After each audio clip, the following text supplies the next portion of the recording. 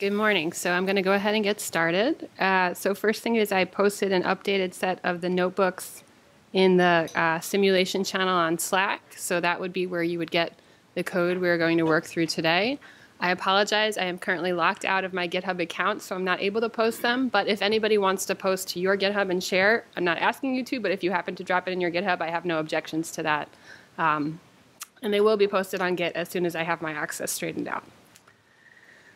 Okay, so um, this tutorial is kind of a collection of all sorts of things you might think about when you think, how can I get my hands either on some data with a particular structure or to test a particular algorithm, or I have some data, but I don't have enough data, or I don't have very good data, and is there anything I can do to sort of get a little bit more out of the same data set uh, without straight up making things up, because obviously that won't be very useful as a data supplementation tactic. So that is the goal of this tutorial. Here's an outline of what we're going to be talking about. Uh, we're first going to just talk fairly generally about simulating random numbers. I am in no way a, a math theory person, so this will be very limited, uh, but just good to have a sense of what the problems are and what people who actually work in that field think about. Uh, We'll just be talking about simulating from a model fairly generally, drawing from different distributions and what does that look like and how does that relate to random numbers. We're also going to talk a bit about agent-based simulations and look at uh, a particular Python package, SimPy, that can help you with this. We're going to look at a science slash physics simulation to get another idea of sort of what simulation can look like and how that can generate data for you. And finally, we're going to finish by discussing how we can augment uh, data sets. Okay, so let's start off by, uh, and actually before we get started, I just want to mention a few things. So I hope everyone will feel free to come and go whenever you want to, to get a snack, use the bathroom, whatever it is. Don't feel self-conscious about that. Uh, don't feel self-conscious about interrupting me if something is not clear or if you need more time or anything like that. Um, any other logistics we should talk about? Any questions? Yes. So the channel is called Simulating. Yes. And actually, it's pretty important that everyone have the, the zip file. Is anybody not on Slack or didn't find the channel? Okay, so uh, if you're not on Slack and you haven't been on Slack yet and you need an invite, in that case, you would, uh, you would email scipy at enthought dot, uh, is it .org or .com or? .com, at enthought.com. I think it's .com. Um, they will respond almost instantly and get you a new Slack invitation. Yes, so if, if somebody wants to do that, like I said, I'm, I just can't get into my GitHub right now. So if somebody can readily post that, that would be appreciated. And if you do, please post that to your Slack. But if that's not an easy option for everyone, then yes. Yeah, so that's the problem is I haven't been able to establish a repository because I'm locked out due to some OAuth 2 issues. Long story. Uh, so if somebody else wanted to create the repository, feel free to do it, is what I'm saying. But I have provided them as a zip file in the Slack channel. Other questions? Okay. Um, and then I guess actually it would be helpful for me to know a little bit about people's backgrounds. Um, so if you could raise your hand if you generally have to use synthetic data in one way or another for your work. Okay, and so for those of you who do, what does that look like? What kinds of data do you make?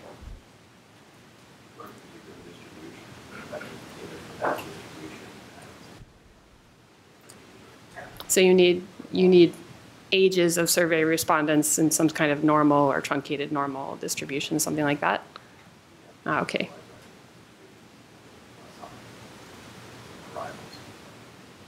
Is that, uh, is that the usual use case? Does anyone do anything else?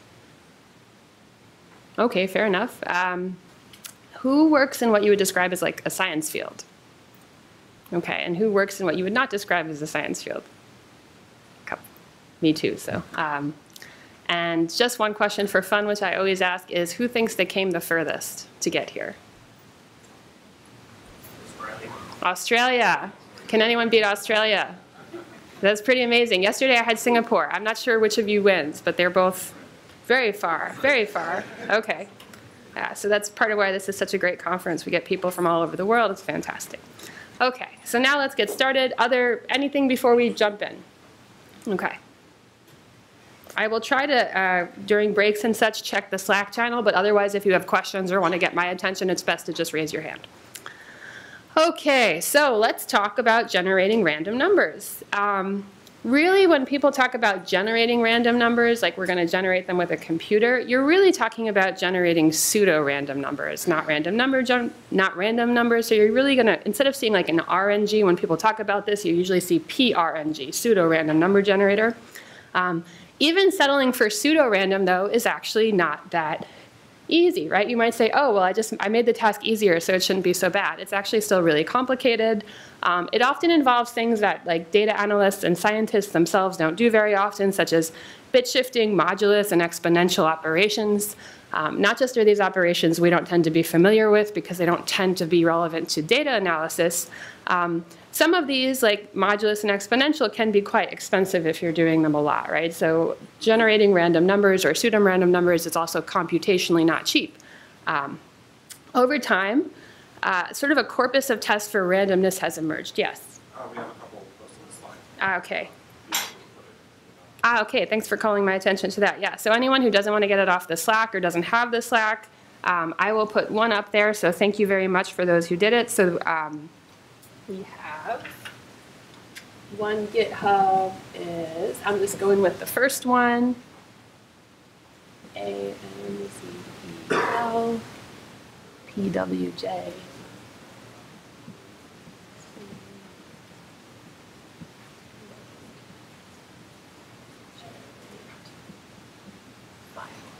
Looks like that. Okay, so thank you very much to the two folks who posted. Much appreciated.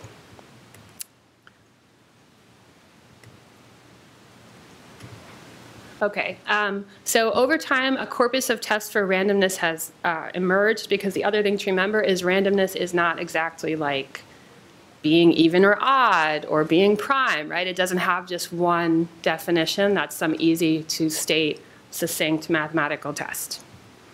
Okay, so uh, what does a pseudo-random number generator look like? Well, I definitely wouldn't attempt to write one, especially one that I would like sort of put up and say this is definitely correct. Uh, so I instead just browsed GitHub and found examples of ones that people put into Python. Here's an example of what's called the XOR shift uh, algorithm. This one is one, if you go to Stack Overflow and you say, what is a pseudo-random number generator I can do in my head, or I can do uh, maybe with my fingers or some pencil and paper, uh, this is the one people will give you. But actually, if you look at it, it's still pretty complicated, right? It still involves um, all sorts of weird things like exponentials and um, sort of juggling multiple numbers, right? And you sort of juggle multiple numbers, do various uh, modulus operations on them, and out pops a random number. The important thing to know is that random numbers, for example, don't even come out of your head. So like pulling one out of your head turns out to be a terrible idea. They also do experiments on that. Uh, if you pull a random number out of your head, you'll usually gravitate to something like 7 or 17 or something that ends with a 7 because we all think, oh, those tend to be prime and primes feel like a little bit more random or a little bit more mathy. Uh, yeah, so true story. So anyway, when you're, when you're thinking about how to generate even a pseudo-random number, don't introspect. Okay, so what are, for example, some ways that people have thought about randomness? And this is this is really a fairly new field. Uh, really has a lot to do with the increasing power and availability of computation, right? So people in the 20s, I mean, sure they were worried about cryptography, but they didn't worry nearly as much about randomness as we do now. Uh, so in 1995, people came up with what were called the die-hard tests. This is not the be-all, end-all test of randomness, but it's one example to show you how uh, people who are designing pseudo-random number generators think about these things. So this is just a sample. This is like a whole suite of tests. Um, but these, these are sort of some of the intuitively understandable ones. So one is choose some random points from a generated sequence, right? So set up your pseudo-random number generator, kick it off, get some points, and then look at the distance, right? So you put them all in a bag after you generated them, you pull them out, now look at where the ones you selected were in the sequence that you originally generated. And they should be exponentially distributed in the distance, right? So the distance between these points should follow an exponential distribution. How do they know that? They had to figure out that that's what it should look like, right? So it's not enough to just crunch the numbers. They also have to think still theoretically about what does a random number look like. This is one way they test it, right? So first you your, have your whole sequence, then you put them in a bag and draw from the bag, and then you look at the distances.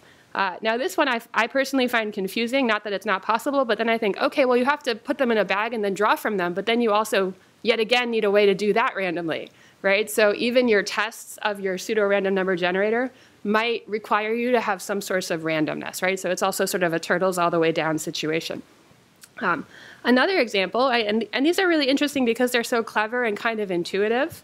Uh, so consider sequences of the same five numbers when they occur consecutively, right? So you run your random number generator, blah, blah, blah, blah, blah, blah, thousands, tens of thousands, millions of times. And then you think of five particular numbers that you would, you know, that should occur in your sequence somewhere, and you look for when they occur in a row, right? It's almost like a word or something, right? Like these five numbers, when they occur all consecutively, in any order, they should occur in all orders with the same frequency, right? So, or you can think about it in terms of letters instead, right? Like if I were to permute A, B, C, D, E, I expect to see all permutations of A, B, C, D, E with the same frequency. It's the same rule for these random numbers. If I have five, when I see them together, I expect consecutively, I expect to see each order, right? And if I don't, that's, you know, that's a, a ding or whatever. Now to be clear, many pseudo-random number generators do not pass all these tests. There are many, many tests, and this is sort of one of these things where you have to think about your application and what's important to you. But uh, this is another way that these things do get tested, and many sort of proposed algorithms will fail, right? This is actually really complicated to make sure this sort of behavior will emerge in your system. Okay, and, and last example. Uh, in this case, what they want you to do is multiply 2 to the 31 by random floats on the range 0 to 1 until you reach 1. The number of floats needed to reach 1, right, the number of times you need to generate a random number and do this, this should follow a certain known distribution when you repeat this experiment thousands of times. Uh, so again, very computationally taxing and complicated just to think about testing this, right? So now I have to generate many random numbers uh, multiply them all by 2 to the 31 until I make it sufficiently small. Count how many times I did that, and that's just one point in a distribution. Do it enough times to establish a distribution, and make sure that distribution looks correct. That's another test. Uh, so even now in 2019, this sounds daunting to do, at least to me, with the computers I have available. So I'm, I'm having a hard time even envisioning doing this in 1995, but they did. Um, so as I mentioned, uh, which tests a pseudo-random number generator does well on or doesn't do well on will sort of vary. It's a little bit like people, right? Like some of us are good at math but not so great at chemistry, and others of us are amazing dancers but not really good at basketball or whatever, right? Pseudo-random number generators also have sort of a mix and match of ability and strengths. Okay, so what are some other problems we run into other than sort of failing these die-hard tests? Um, some of these can have sort of surprisingly short periods. So they have like every pseudo-random number generator will have a period, right? That's why it's pseudo-random is because it will eventually come back to itself in some way, and that's the period. Uh, some of these, one problem you can run into is they'll have surprisingly short periods if you have a bad seed. And the problem is, is that not every seed can be tested on every pseudo-random number generator. Uh, so these are problems, these aren't just sort of theoretical problems, these are problems people run into in code bases and sometimes realize, oh, we put this in 20 years ago and we're just noticing that actually there's a problem and maybe that explains some other things. Or, oh, normally this was fine, but this one time we set the wrong seed and it was a disaster and then we discovered a bug. So these, you know, when you work in this field, you're sort of never free from worrying if this is going to come back to you. Um, so you can have this sort of bad seed problem that will reveal new problems with your underlying process. Uh, successive values can be correlated. This is also a big problem, right? And it tends to be that sort of the more efficient or easier your random number generator is, uh, for the obvious reason that tends to mean that uh, your samples are more correlated because you are in some way trying to use that information to save yourself some time later. You can also have things like poor distributions along different dimensions in an output sequence, right? So if you're trying to generate high dimensional random data, uh, but you have this pseudo random number generator that has maybe a short cycle or has this correlation or something. In some way, you can have problems where uh, the dimensionality distribution is not really right. Like the distribution along one dimension doesn't match the distribution along the other, even though it should, purely because of these numerical cycling issues. And then, as I mentioned, but I'll, I'll say again, flaws can go undetected for decades. as problems can be quite subtle or they can be limited to special cases. So we can be fairly sure, even with the PRNGs that are out there now, that there are probably flaws. Do those flaws matter for most of our purposes? Uh, I don't think so, right? For those of us who maybe work in some sort of high security type stuff where you really need random random, maybe. Uh, for purposes of simulation and things like that, it's probably not going to change your life or your analysis outcomes. Okay, um, so what's another option? This is what I would do. Like if, if I were suddenly my livelihood depended on having a random number and I'm not a mathematician, I wouldn't go down that route. I would do the easy thing. I would try to find a truly random state in nature, right? Some sort of physical source of randomness. Uh, so companies do this, people do this. Um, there are websites online that will even give you sequences of random numbers that they themselves have generated, say from a balloon floating over the North Pole or what have you. Uh, so you can look at uh, minuscule fluctuations, say in temperature, or atmospheric electromagnetic variations, or some combination of those. Um, if you don't have access to a balloon over uh, the South Pole or whatever, and, and sometimes you need to pay for such services, which is reasonable, right? They are providing a physical uh, service to you. Uh, so if you don't want to pay, you can also look for sources of randomness, for example, on your computer. So sometimes things like time between keystrokes, or random bits in a physical memory location on your hard drive that is frequently overwritten and changing can be used as a source of random uh, data. So what are some problems with these physical or sort of semi-physical sources? Um, one problem is sort of bias, right? So for example, uh, sensors aren't perfect either. So if I put some sort of temperature uh, sensor into the atmosphere or EM sensor of some kind, that device itself can have some kind of bias, right? Or the distribution, even if it doesn't have a bias, the physical distribution of what we're looking at uh, might not be what I want it to be, right? Maybe I want uniform, but most physical distributions in nature are going to look more like a normal. Um, and maybe it, you know, maybe it's not quite a normal and it's something else. So I'm transforming it, assuming it's a normal and I want a uniform, but actually uh, it's a beta distribution and you know I shouldn't be transforming it the way I, I am. So you can still run into problems even with this gold standard of like a physical source and for that reason if you really want to get it right again it still needs a lot of calibration and examination and it's always possible you'll find issues later. Uh, so that's that's all the downer spiel, but now that we've had that, I actually want to take the opposite approach and sort of look at some of the code base in Python where we are uh, generating random numbers when we use these just in our sort of daily coding lives to see actually that despite the problems, this stuff is uh, interesting to look at, quite approachable, and you know quite quite relevant. So if we look at the first notebook, generating random numbers, we're going to just start with um, the random module. So sorry, that is in the, let's see, it's called the Random Numbers and Simulating from Statistical Models folder. So we'll be in that folder for the first two sets of notebooks. So um, it's in the Slack channel. There's a zip file. And if you unpack the zip file, it's in there. Or you can get it from GitHub at this address.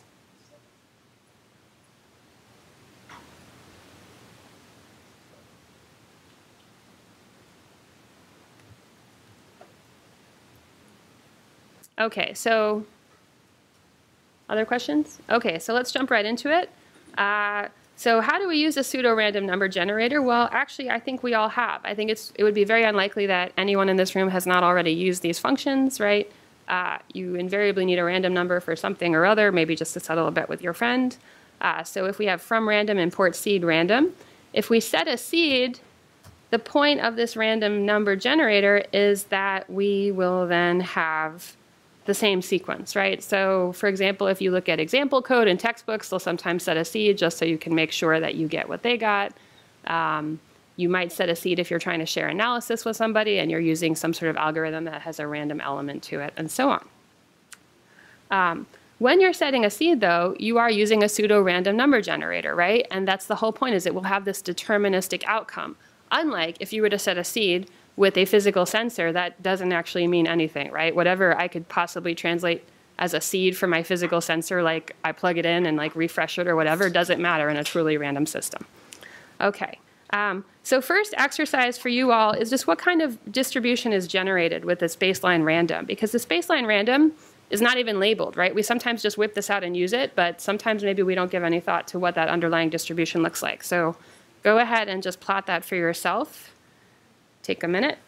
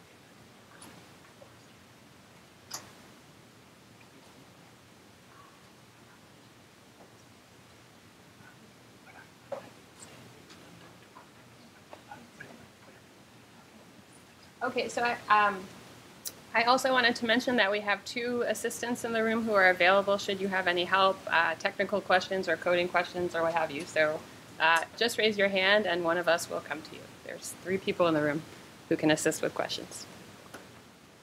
Okay. Okay, so um, what kind of distribution is generated? There's uh, many ways you could do this. I decided I would just go ahead and generate a thousand samples and look at a histogram. And if I look at this histogram, what do I get? What does that look like? Uniform distribution, which is what we would expect, right? So we should be a little bit worried if we don't see that, and we would expect it to be more and more like the sort of paradigm of the uniform distribution uh, with the more points we sample from it. Okay, so where do these random numbers come from in the random package, right? If we're wondering where do they get their package from, um, if you look at the source code, you will see at least two options for your pseudo-random number generator. So in the next example, I've got uh, I've got this code. I've got it commented out just so I don't accidentally uh, you know mess up my base functions that are loaded. Uh, but you know the nice thing about this sort of code base is firstly they will tell you where your functions come from, right? So they tell you, oh well, you can find this um, in this book on these pages, right? So really beautiful, well documented code. And we can also um, see this algorithm. And I would first actually point you to the wiki page. So I'm going to just load the wiki page so you can see that as well. It's a little bit easier to read. Um, but basically what we see here is that we, um, in this algorithm, we're tracking three numbers. And we're basically performing a modulus and an, uh, a multiplication operation. And that is giving us our, uh, our random number. And then we sort of update everything and it's, it's a bit of a cycle, right? So S1, S2, S3 are equal to the modulus of the previous S1, S2, S3 times 171, 172, 170, and then each one with its own divisor. Um, then you combine these, take another modulus. This will get you a pseudo-random number uh, generated sequence. And this also has sort of known statistical properties, right? So if you were to read up on this on Wiki or in other places, they can tell you sort of the approximate period, the approximate sort of faults in the algorithm. So if that were something that were relevant, you would know that right off the bat as well. Uh, so this is a really accessible algorithm. We can see uh, it's implemented in something like four or five lines. We can also see here that um, even with something like generating random numbers, the object-oriented aspect of Python is really useful, right? You can just slap a self on everything and you're storing it. Okay, so that's one way you could get a pseudo-random number generator in the random package. The other way that you will see the random package getting a pseudo-random number is from the operating system, right? So if you go to the next cell, I have this. Um, in this case, basically what you're using is you are using the OS module, which will access whatever source of random data your operating system makes available. Now, different operating systems will use different physical um, inputs to decide this. As I mentioned, sometimes it might use your keystrokes or other behavior. Uh, more likely is it's just going to look at uh, some chunk of memory or some you know, randomly selected chunks of memory over time and just read off the binary values in there. So either of these can be used uh, in the random module. Okay. So what if you want to uh, generate integers though, right? What we've been looking at so far appears to just be giving us a random uniform distribution from 0 to 1. Uh, but as we know, we can also generate integers, and that works really nicely as well. So what does that look like? Uh, take a few minutes to look at this next bit of source code in the next uh, cell, and then we will talk about this. But take a look here and, and basically look for where, where does it become an integer and how does it get the range correct.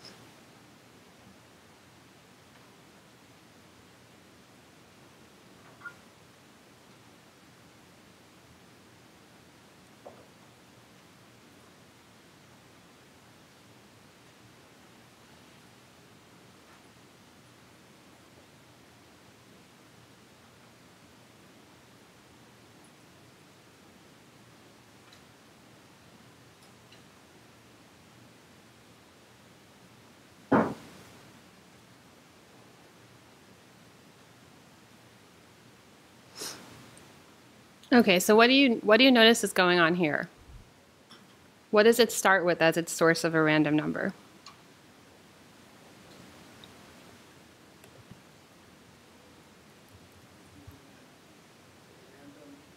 Mm-hmm. So everything in this package is built off of that self.random. That's, so that's one of the first interesting things about the architecture of this package. At the end of the day, the main problem is still just getting that first random number, which is coming from that 0, 1 distribution, and then everything else to get some other kind of distribution or result is going to build off of that, right? So if we look, um, if we look around here, we will see that self.random, right? So that's where we are accessing that self.random. And what variables is that interacting with?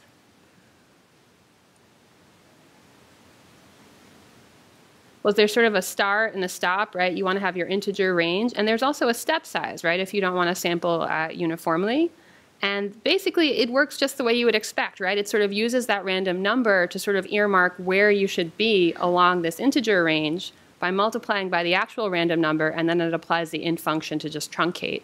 And it does this in a way that it's sort of aware that you're not truncating in a dumb way where you would somehow uh, cut off one edge and not have enough of that edge, right? Which is something you'd have to worry about. Hence all the edge cases. And notice the authors have even gone um, to the trouble of, for example, putting in a note here where they explain what they're doing and explain how you could go wrong. Um, and in the past, not to criticize because I can't write any of this code, but um, people have put in incorrect distributions, and that's why they are actually often careful to document what they're doing, why they're doing, and sometimes even document the history of how things have gone wrong in the past. Okay, so of course other distributions are available, such as the triangular distribution, so let's go ahead and plot that. Um, that's an interesting one, the triangular distribution. What does that look like? Other than a triangle, what's sort of the, the interesting feature from a more mathematical standpoint? You can, so you can make it skewed if you want to. Uh, basically, it has one mode, and you can sort of position where you want that mode to be, right? Um, so if we look at the source code for this, we can see uh, the triangular has a low, a high, and a mode that you can set. If you don't set the mode, it's going to be just right in the, in the middle. And this is going to give you a continuous distribution bounded by your given lower and upper limits and having a given mode value in between. Okay, uh, this has some remarkably short code that we can work through, so that's what I'd like us to do right now. So we have um, just what, something like eight lines of code, so that's also been pasted below in the next cell. We use u, which is just our random number, right? We grab that self.random. Again, everything is getting built off of self.random at the end of the day. Um, and what else do we have? We have the high and the low and the mode. So here I've set the mode to 0.25 precisely because I want to generate a skewed distribution. I don't want a symmetric distribution. And from there, what's going to happen? So U is going to be random. C is going to be 0.5 if the mode is none, else mode minus low divided by high minus low. So what is C giving me?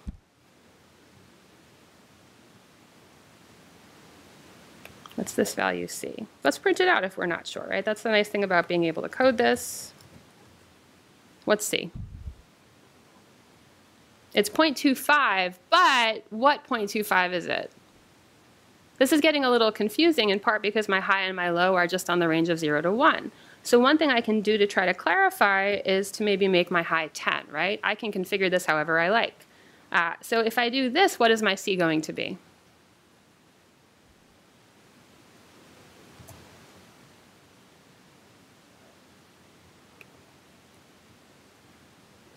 Well, we've got mode minus low over high minus low. So now it's 0.025, right? Because my 0.025, it's just mode minus the low over high minus the low. So that's sort of like the percentage of the overall range to sort of get to my mode, right? It's sort of the probability of being below my mode versus above my mode just on that uniform range. Okay, so if I print that out, and I'll keep printing that, uh, the next question this algorithm asks is, um, is u greater than c? And I'm actually, I'm going to go back to the 1.025 example because that's a little bit easier to digest mathematically. Um, if u is greater than c, what are we going to do? We're actually going to flip the u and flip the c and also flip the low high. So what's going on there?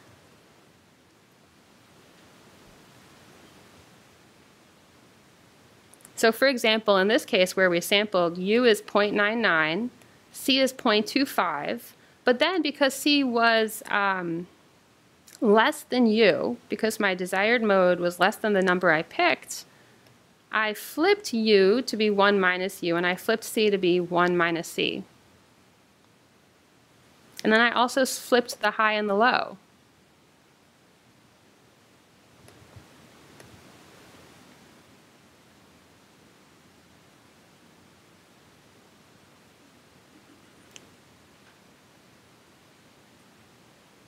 Okay, so if we want to, want to think about why that's happening, let's keep this u. So now I'm actually, instead of the random, I'm going to comment out this random, and I'm going to just put in this u value. So I have this u value so that I'll just always have the same behavior as I go through this. And now I want to think, okay, so now I've gone through this exercise. I'm trying to get some insight into why I would switch the u and the c to be sort of their probabilistic complement. I'm trying to understand why I would switch the low high. So now if I switch the low high, they've just been switched, so high minus low is just negative 1 instead of 1. Um, and then the number I'm ultimately going to be returning is uh, going to be this high minus low, negative 1 now, uh, plus the high, right, because low is now the high, 1 plus negative 1 times u times c to the 0.5. So let's also think, what is u times c? Very small number, and u times c raised to the 0.5, still a fairly small number, multiplied by high minus low is just going to be give me a negative, so this whole thing ends up giving me uh, quite a large number of 0.91. Okay, so uh, with my u being equal to 0.99, I get an output of 0.91. 0.91. So we took a u that was a fairly high number in our uniform range, and it took us to a fairly high number. Uh, what should we try next? Hmm? Okay, so low, and how do we define low? Below the mode also, right? So near zero, but also we want to define it in relation to our mode. So uh, my mode is 0.25. So let, let's just memorialize this, that uh, u of 0.99 led to this outcome of 0.91.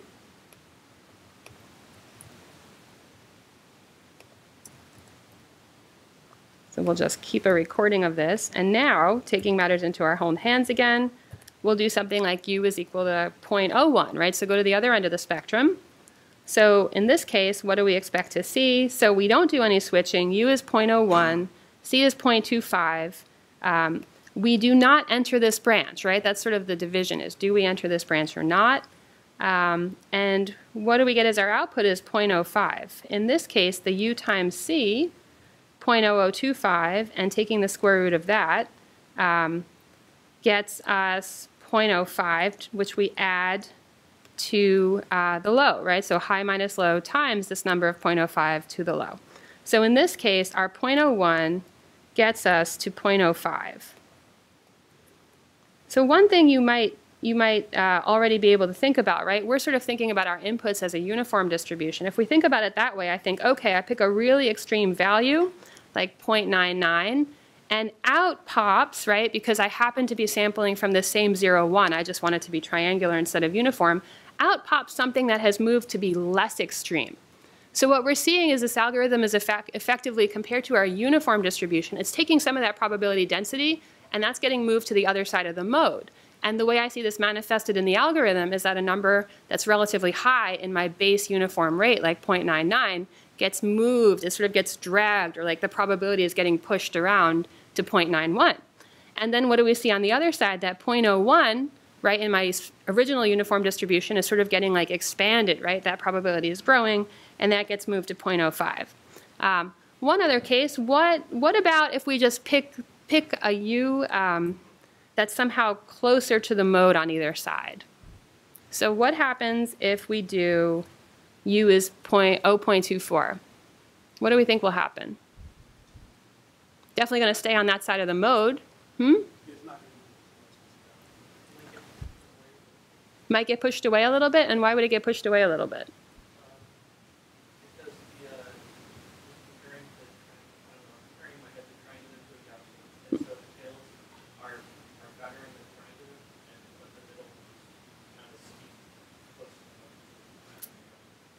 Okay, so we have we have a we have a theory as, as to what we expect to see. Let's see if we're right. Right, this is actually kind of fun. We're like our, our code is becoming our experiment. Okay, so if we put u of point two four in, we actually we actually get pushed a little bit towards the mode um, unexpectedly. And the the reason for that is if you think about it here, this term is is sort of like a geometric average of the mode and what we're putting in. Um, so sometimes it can even be a little bit difficult to reason about how these things work, and that's why why it's so great to experiment. Uh, so I hope I haven't belabored the point too much, but I just want to give you this example of you can start to develop intuitions, uh, test hypotheses that may be wrong or right about how it's working, um, and you should just feel very empowered to jump into these code bases because they're quite accessible, uh, and you can just run them beautifully, unlike possibly in the, in the 90s. Okay, uh, so what about a Gaussian normal distribution? What about that one, right? That's another one we all need all of the time. I'm sure this is almost everyone's bread and butter as far as drawing from these things, but have you ever looked into how they are generated? So if you haven't, you might be interested to see again from the random uh, library the Gauss implementation in this next version. Uh, go ahead and just take a minute or two to read this on your own. Uh, you really just have to get down to here. And again, like we saw before, uh, it's all built off of that base random number generator, that self.random. But there's an interesting twist here that makes this uh, more efficient than it might be with a suboptimal implementation. So take a look at what's going on here.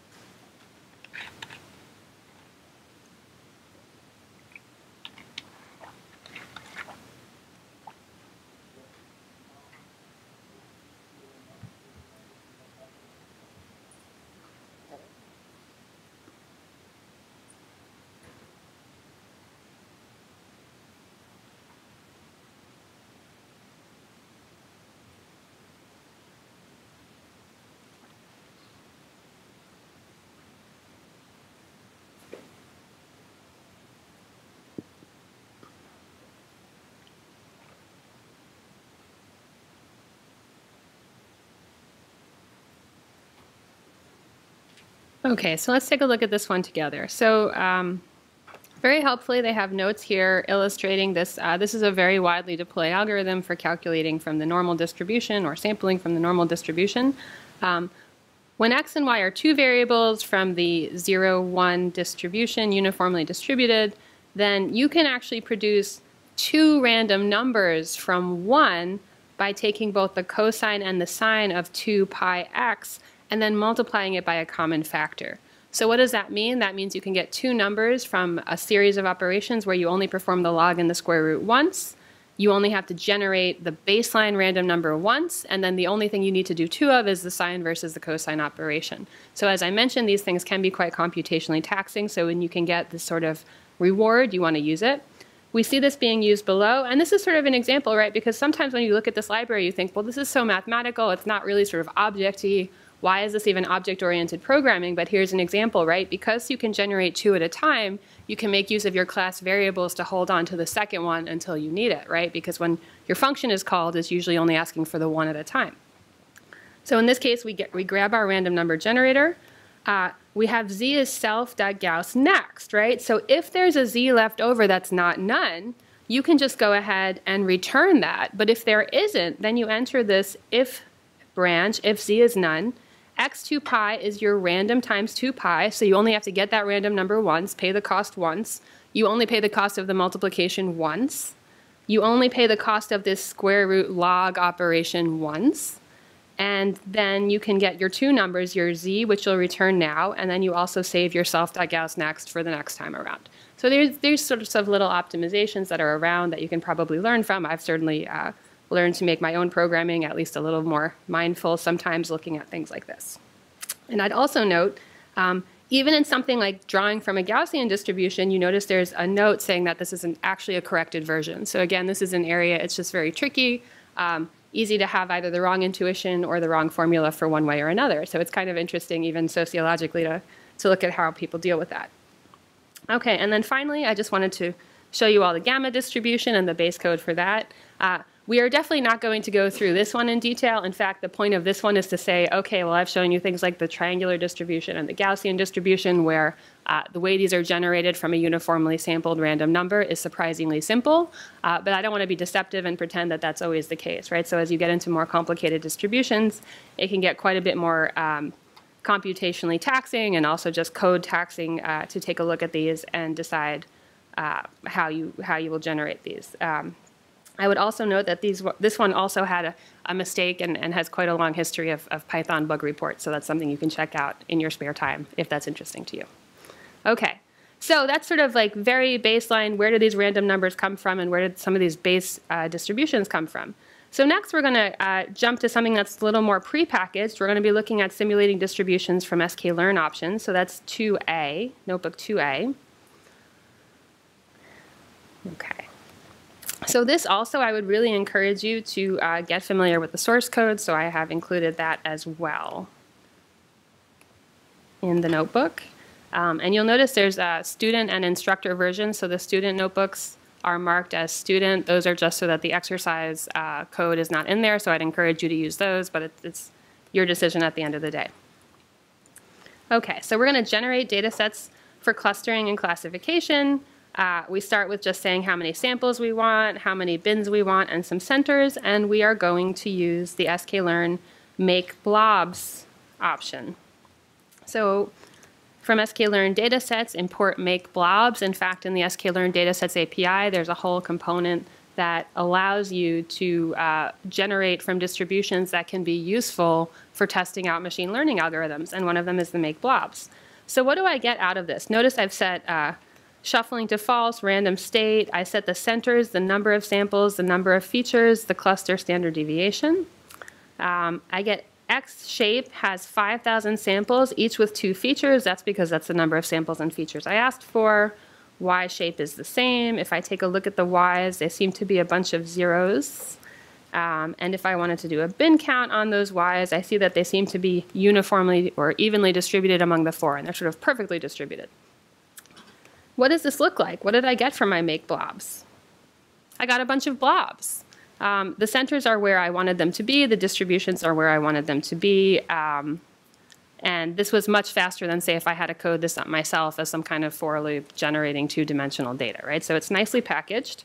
Um, I can also, for example, adjust easily the weighting of the number of samples by just passing it an array with the number of samples. So if I do that, I will now have sort of differently sized clusters, right? So again, much easier. Sure, I could code this up myself, but it certainly would be a big pain in the butt compared to a one-liner from sklearn. Okay, so first exercise, just go ahead and try out this code, um, adjusting the standard deviation. So try to have clusters that have different standard deviations. Think of what this could look like. So take a minute or two for that.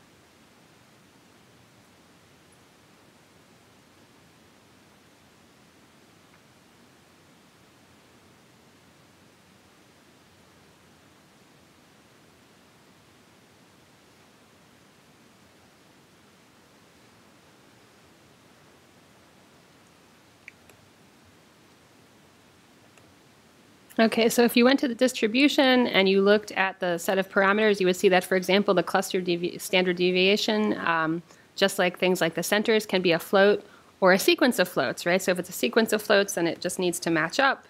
And I can do a scatter plot, and for example, I could have uh, very loosely spread out clusters versus really tight clusters and um, have that available for analysis. Let's look at these other options, right? So number of samples, right? That gives me an opportunity to work with small data sets or large data sets as I want. Um, number of features gets me the opportunity to adjust the, the dimensionality, um, where the centers go, how much I want them to overlap. There's also this shuffle option. Why would I need that?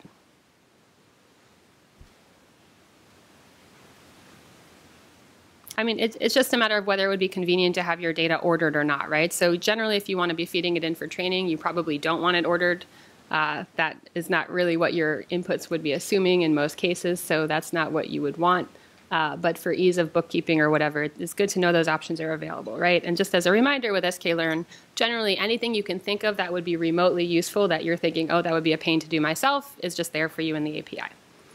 Okay, so now let's take a look at this make blob source code, which I also had better comment out before I override it. Uh, so this, these are all available in the sklearn dataset samples generator code. So if we look here, make blobs,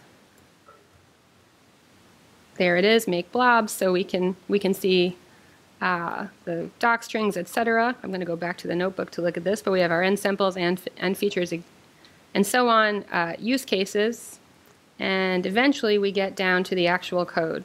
Uh, so most of this code too, it's not especially complicated. Most of this code is sort of error checking or figuring out did you give it a float, an integer, or some kind of array, right? Because depending on how you did it, it just needs to reconfigure a little bit. Um, and then we finally get down to making the actual clusters. And what do we see that it's doing in this case? How is it making those clusters?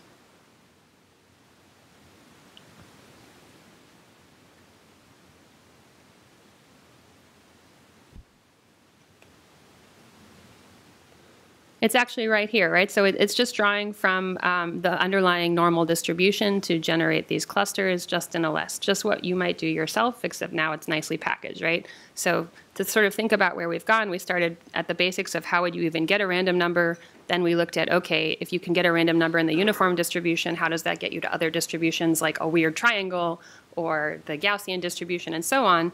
And now we're here we are generating blobs with one-liners, but it's all sort of built on the same machinery. So just thinking about it, we could actually write this code all the way from the level of accessing the random bits made available by our OS all the way to these beautifully colored plots all on our own. We actually wouldn't need sklearn to do any of this for us because we've just seen all of the steps involved. Um, and wonderfully, at least for uh, the normal distribution, it turns out to be fairly accessible and not that difficult. So that's just something that's handy to remember. Um, I think our you know, the people who did our jobs, you know, 20 or 40 years ago, I'm sure actually just routinely did that, and it was old hat. And it's actually, uh, you know, not so inaccessible or difficult to do. Okay, so now let's look at a, a variation of this, make classification from sklearn. It's the same idea. So we're going to make classification data, right? You are learning some new algorithm and you want to figure out how to classify it. Or there are other reasons you might want to do this, right? Maybe you're working with some particularly difficult data set and you're not having much success, and you might have theories about the reasons that you're not having success, but it can be difficult to sort of mathematically prove, oh, my my XGBoost is not working because this sort of weird feature distribution on this particular class is just weird and I can't even do it myself, so how could my tree do it? So uh, that gives you an opportunity to test that theory, right? You could try to make a data set that looks like maybe the problems that you are identifying. So let's go ahead and uh, first look at the sklearn make classification API description. And if we do that, what do we see? So we have n samples, n features. Okay, that's just like the make blobs. But now we're really getting into something um, that could potentially help us with these problematic data sets because the next few parameters you'll see are number informative, number redundant, and number repeated. So you have sort of three categories. Um, number informative is not going to be your number of features, right? This presupposes that you actually want to have fewer informative features than total number of features, right? Which is a very common uh, attribute of a machine learning data set, especially if it hasn't been particularly well prepared or you don't know much about it yet. Um, likewise with redundant, right? What is this giving us? This is giving us those correlated inputs that can be a pain in the butt, right? When you realize, oh, I'm just measuring the same thing three different ways or approximately the same thing 15 different ways. Uh, so you have your redundant um, and also repeated. So does anyone ever run into that where you might actually just have repeated inputs? You definitely get that. Survey data, you know, how old are you? When were you born? Oh, wait, that's sort of the same data, right? And you might even transform it and realize it's, it's even numerically the same, right? So this is also something you will actually run into. Uh, so if we make classifications, and in this case, I'm making uh, four features, zero redundant, two informative. Um, I'm also just doing one cluster per class, so this also offers you the opportunity to have sort of classes that themselves have some complexity within their structure. Uh, so if we look at this, it gives us sort of an evenly spaced bin count. And now I can look at different features to see the divisions, right? So I've got two classes here. I've got my points colored by class. In this case, I am plotting the first and the second feature against one another. This looks really quite informative, doesn't it? Uh, the reason for that is that the order they come back in is actually in the order of first the informative, then the redundant slash repeat, and then the useless. Um, which is very nice of them that you don't have to figure it out, right? They give it to you because the whole point is you're using these synthetic data sets to make your life easy and to test things. You don't want it to just become a new uh, opaque data set where you're not quite sure what's going on. So that's our scatter plot. Um, so presumably x, x2, right, this third column of my x, this is actually not going to be very useful. So what does that then look like? So this is my useful axis, the x-axis, and this is my useless axis, my y-axis. Um, and what do I see? I see going along the useful axis, obviously I get a useful division, whereas not so much going along my useless axis, right? That if I, if I just look along that axis, there's no information telling me what class something would belong to. Um, and then likewise for um, if I'm plotting my other sort of useful feature against my useless axis, now I, I can't even see this useful feature that it's useful, right? Because this one was actually built in tandem with the first feature, right? It, it's sort of projected off of it. Uh, so that's also interesting to keep in mind. The more sort of informative features you have, uh, the more important it is to plot them against one another because they are projections into that space. Okay, so let's take a look at the source code here. So make classification. Start with this, skip over the, uh, the first function as you read, and we'll come back to that. But make classification uh, bunch of inputs, bunch of doc strings. Uh, here we go, we're just doing some error checking, right? For example, if the number of features you're, re you're requesting in some way is not consistent, we're gonna error out there. Um, otherwise, we're also gonna set the number of useless and the number of clusters. We're gonna do some weighting if weights have been provided, say if I don't want evenly uh, sampled classes distribute the classes among my weights, and then here's where I'm actually doing the, the real work of generating these classes. So take a minute to read this code on your own, and then we will talk about this.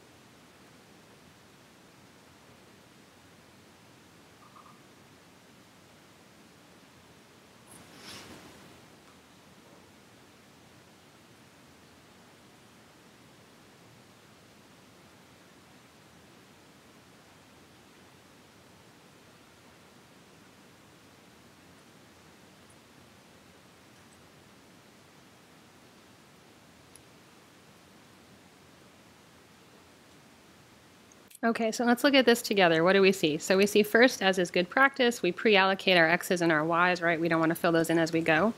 Uh, then we have this interesting code, centroids equals generate hypercubes. So we're going to pop up and look at that in a second, but let's not lose our train of thought right now. So we have these centroids where we're going to be sort of centering our various classes. And notice this is by the number of clusters, not by the number of classes. And the reason for that is, as I mentioned, they offer the opportunity in your classes to have more of a complex structure, not just one cluster. Uh, so they are accounting for that. So we have our centroids. Okay, that, that begins to look a little bit like make blob, where we just had centers where we were going to put our blobs. Uh, it looks like we've the way we've done it is a little more complicated with make centroids, but other than that, now we've just got some points, and we want to center our classes or our clusters rather around those points. Okay, so then for each centroid in the centroids, it's just going to grab a start stop, fill this in, um, and generate a random matrix. And with this xk, do the random matrix, right? So basically what you do is you generate a bunch of random numbers, and you want to have some sort of uh, correlation between those numbers, right? You want some sort of non-identity uh, covariance matrix, for example, so that you have some sort of shape to your clusters, which is what makes the classification problem more interesting. So you introduce that by dotting your A with your X, which is otherwise just a set of random numbers. And so you've got a chunk of your X all correlated together, centered around one centroid. And you do that for all your centroids. So that is how you're generating each cluster. And then remember, a cluster is not necessarily the same as a class, so then you also have your class label, which is what we see further on. So that's the meat of it, where you're generating the informative features, right? The ones that are correlated in a meaningful way. And now we have to add the useless features, right? So if we continue, we have redundant features. What are redundant features? They're just using the, the same feature space again. What are repeated features? Same thing, right? In this case, um, just repeating your values, taking some random numbers to decide which of your uh, meaningful inputs you're going to reuse and then reusing those. And then for your useless, you're really just filling those in with a random number generator. So as far as um, generating correlated values, if you haven't worked through this before, so this is dotting with your covariance matrix or your correlation matrix, this is how this works. So just to give you a proof of concept, right? So I can just generate random values, right? Just with np.random.normal. But I want them to be correlated, so I really just create this uh, correlation matrix, which is 1 plus whatever value I want them correlated between my two numbers. So in this case, I said minus 0.5, and there we go. But this can be anything. It can be 0, and then I'm going to get a nice blob. It can be 0.9, and then I'm going to get something really nicely correlated. It can even be 1, and then I just have my straight line. So that's uh, sort of the extent of the nu numerical tricks that are used there. Now let's go up now and see the uh, generate hypercube. So if we go back to the top of the source code cell, def generate hypercube. So what does it have in this case? What does it want? It tells us, or it needs, the number of samples, the dimensions, and the range. So if dimensions is greater than 30, uh, which I don't think we'll run into that case, it's just going to h stack some random ints. In this case, it can just um, use a numerical trick to give it what it wants because you're almost sort of maxing out on your bit options in this case. But what we're going to look at is the case of a reasonable number of dimensions. So in this case, sample without replacement, 2 to the power of dimensions. How many samples do we want? Samples set a random range, and as dtype u4. Now the reason it's doing this is we're actually going to generate a set of numbers uh, with a certain bit count, and then what we're going to do here is we're going to unpack the bit count. And in unpacking the bit count, what are we doing? Thinking of, think about it, right? The dimensionality, right, to generate our hypercube, we have the two options for each dimension, right? We either wanted the positive or the negative, the zero or the one along each dimension. So we unpack the bit so that each bit in the random number we generated, now we look at the bits within that random number, and each of those is going to give us the coordinates for our hypercube, right? So along each bit, is it 0 or 1? So that's an interesting case of using a little bit of bit arithmetic to do something that's related to data analysis by generating our hypercubes. Uh, so I'd encourage you to work, work through that on your own as well. It's really interesting to just sort of run the code um, and see where your hypercubes are. So uh, we will do that when we come back from a quick break. So let's go ahead and take five minutes to get coffee or whatever, and then we'll work through this.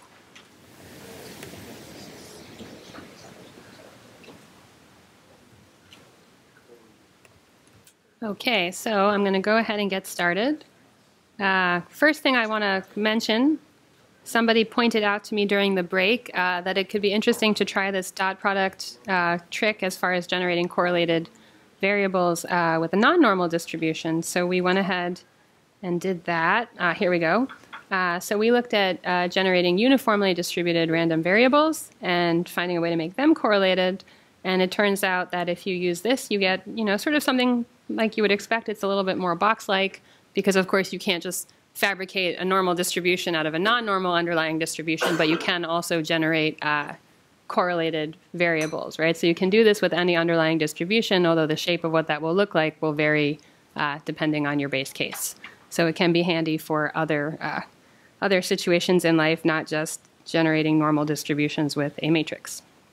Okay, uh, so I said I had wanted to revisit also this uh, generate hypercube component of make classification. I think this is just interesting for us data analysts to learn a little bit about how uh, folks who do uh, more computery stuff think about things and how they compute things, because that's, you know, definitely not my job most of the time.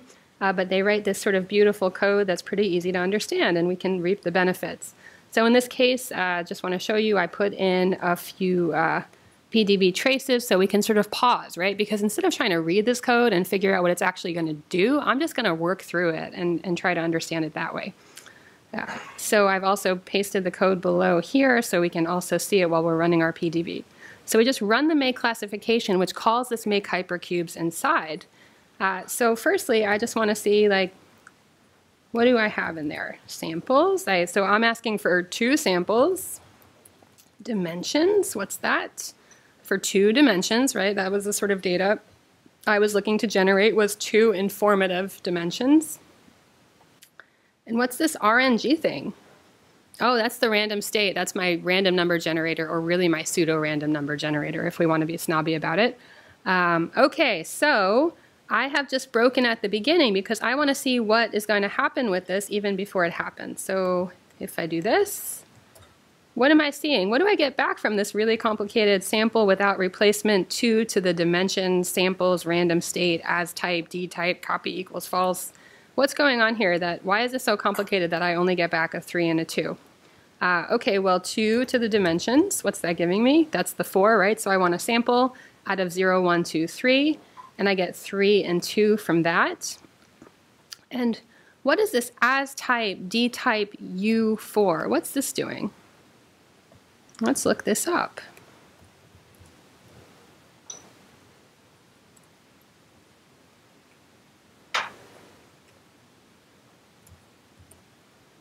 Ah, it's a data type, right? It's one way of representing an integer. So that's one integer. I believe it's an 8-bit integer, if I recall correctly. Um, so if I progress to the next line, let's see what was it called? Yes, out. Okay, so if we look at out, okay, it's a uint 32. I can also just run my code and find out exactly what it is using 32 bits, and it's got a 1 and a 2. Okay, so now let's continue. What do we do next? So we basically, we just got an array with a particular kind of integer representation uh, sampled such that the integers we're getting in that integer representation uh, correspond to the numbers up to, but not including the number of dimensions. So 0, 2, number of dimensions minus 1, 2 to that power, okay? Uh, so 2 to the power why because you're having a hypercube, right? So along each dimension, you're going to have the two points on that dimension. Okay. So if I go to that, my next bit of code, out equals np.unpack bits, out.view u1 reshape, what is going on here? What do I get out of this? Wow, so actually, actually what has magically happened is that what I had as a 1 and a 2 has now become a 0, 1, 1, 0. And these can be um, locations, right? So 0 along one dimension, 1 along the other, 1 along one dimension, 0 along the other. Um, thinking about the little tiny bit of, you know, sort of bit representation I know, I'm thinking, oh, well, how do I represent a 1 in binary? Well, that would just be a 1 in the rightmost digit, right? Because 1 is 1 in, in any sort of base number counting. And what is 2 if I'm counting in base 2? Well, that would be a 1 and a 0. So what this has cleverly done is used integer representation as a way to generate hypercube locations. So it said, okay, let's take random integers. And how do we get our random integers? By sampling from our baseline uniform, right? So this goes back to what we started with. We started with how do we get just some number in the U 0 to 1 uniform representation. We then already went through the wrapper of converting that to some integer from 0 up to 2 to the uh, number of dimensions minus 1. So we then sampled an integer, but we're not done with our random sampling yet. We are now using that integer, converting it, looking at its bitwise representation, and using that to get random vertices of a hypercube, right? So we've sort of gone through three layers. Why do we do this? This is a way of randomly assigning where those clusters should be, right? With make blob, we had to sort of decide. When I decide, it's a little bit like, let me try to introspect about random numbers. I'm going to come up with 7 and 17 and stuff that really seems random, but that might not actually be very random, right? So the more we can take out of our own control and truly randomize, the better. Um, and this offers a principled way of doing that, right? We want to have random vertices chosen along, chosen along the hypercube. Um, could you do this other ways? Sure, you could write out and enumerate for any number of dimensions. You could have some algorithm that generates all the possible uh, hypercube vertices, right? And then sample from those. Why is this better than that? I think that would be more readable, at least for someone like me who's more of a data analyst, right? I can understand a for loop and generating the hypercubes, whereas this I sort of have to Google and try it out and see how it's working. Um, but why is this actually better? Well, for two reasons, right? Um, one, it's more efficient, right? Um, I have, I'd have to sort of allocate them all, and if I have a lot of dimensions, you can imagine I would sort of blow this thing up, right? And two, I'm actually like doing less generation of random numbers, right? I've just generated the random numbers I need for the hypercube. I don't need to sort of generate my whole list of potential hypercube vertices and then generate a set of indices and then index off of that, right? That ends up being more computationally taxing as well. So sometimes I get upset and I'm like, why do these CS people have to do this like bitwise this and that? It's really annoying. I don't even understand it. I have to like PDB and, and all sorts of crap but actually it's really elegant and it's much more efficient and it's truly random, right? This is a clever way of saying, oh, I'm going to generate sort of a random integer in the human representation, and then I'm going to look at it in the bitwise representation and get a geometrically random set of points. So that's really cool, in my opinion. Okay. So uh, that is it for looking at sklearn options. There are actually, I just want to call your attention to sklearn datasets because there are even more if you look at the API reference, right, you, uh, I, I know in the past I was mostly on the data sets, like what can I get for free without having to go find my own, but where are these? Here we go. There's actually this whole um, ecosystem of samples generators. Uh, so make bicluster. I mean, I actually, from reading this, I even learned about methods of analysis I didn't even know about, such as biclustering. Maybe I should be embarrassed. I didn't know that was a thing, especially uh, in earlier decades before we just could do regular clustering, which is easier and easier to understand. Um, you can make sparse matrices. You can make sparse, symmetric, positive, definite matrices. That sounds really esoteric, but what is that? Among many things, that's how you're going to do your PCA and have random components. That's how you can have covariance and correlation matrices, right? So this stuff sounds really mathy or theoretical, but this is exactly the sort of thing you need to generate most of what is interesting to you, some sort of correlated data or data with some series of baseline components and so on. So I would really encourage you to uh, take more of a look at this on your own. I think uh, many of us are sort of aware of the sort of fancier ones like uh, like these, this sort of demonstration, right, where uh, there are these like like fancy moon-like things, concentric circles. Um, these are actually not going to be quite as useful to you in real life, right? Because your data is not usually going to look like that. Those are sort of cool for nifty demos. But what is going to be useful to you is uh, this ability, for example, to generate these semi-positive definite matrices, right? That is, that is something actually in your life. So instead of going for sort of the flashy whiz-bang ones, I would encourage you to read the sort of more boring ones and, and think about how those actually apply in your research. Okay, so um, just staying on the topic of looking at distributions and um, sort of more statistical models, I just want to talk very briefly about simulating from a model. Okay, so when we want to sample from a model, maybe we have like a broader model of how we think the world works, right? So, so far we've done things like uniform distribution, multivariate, uh, correlated multivariate, you know, high, highly correlated, less correlated, and so on. Um, but we might also have other ways of how the, the world works, right? We might have, uh, for example, in Bayesian statistics, uh, you might say, well, I have this prior, I think I think that the way people do X is distributed this way, right? I think people swim at about this rate, and I'm going to put some sort of prior on it, and then I'm going to look at the empirical distribution and, and have a way of updating that, right? So there's a whole field of Bayesian statistics, which is quite related to this idea of simulation, uh, and there are well-developed techniques for thinking about that.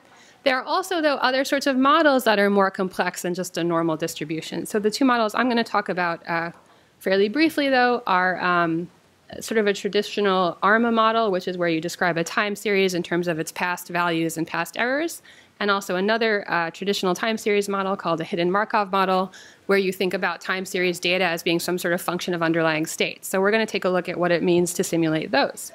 Um, so just more generally, I want to call your attention to the fact that sampling from complex distributions, as many of you are probably aware, is a very complicated, active area of research, active area of uh, software development. There are many talks going on in the next few days here, in particular, about uh, using these tools, so that's good to be aware of. Um, and there are many ways of, of sampling these things. So you can, you can read up on that. I want to talk in particular about these two models I mentioned. Uh, time series models. The first one is the hidden Markov model. So this is the model of our data where we now introduce a temporal component, right? So before this, we were sort of looking at cross-sectional data, right? I just want different random draws from baseline populations. Now I want to go a step further and say, well, I want different sample draws from a baseline population, uh, in population in the sense of distribution that is evolving over time, right? So in addition to having like a snapshot at one moment in time, I also have this idea of how the snapshot evolves over time, right? So now we're adding another layer. What we've been doing is drawing from populations. Now I want to see how populations evolve over time. And we're also briefly going to look at a time series model, autoregressive moving average. So for those of you who aren't familiar with this, and I'm not trying to shove time series down everyone's uh, gullets or whatever, but um, in this case, you think of data, right? You think of you're measuring some sort of process over time, and you want to think about what does that look like. One way to model it is you say, okay, this process, x sub t, is a function of its past values, which are delineated by this uh, expression over here, 1 minus alpha times the lag operator. So in this case, we're just saying we're going to take x sub t, we're going to move it back in time. So I'll have x sub t minus 1, x sub t minus 2, and so on, and multiply it by a variety of alpha values, uh, one coefficient per lag. And then on the other side, I'm also going to say this is somehow equal to uh, a series of lagged error coefficients. So very basically, this is saying, okay, I want to think about a system where sort of past values in my process predict future values some, to some extent. So how do we think about simulating these? Well, now we're going to go to another notebook. So let's go to notebook 2B.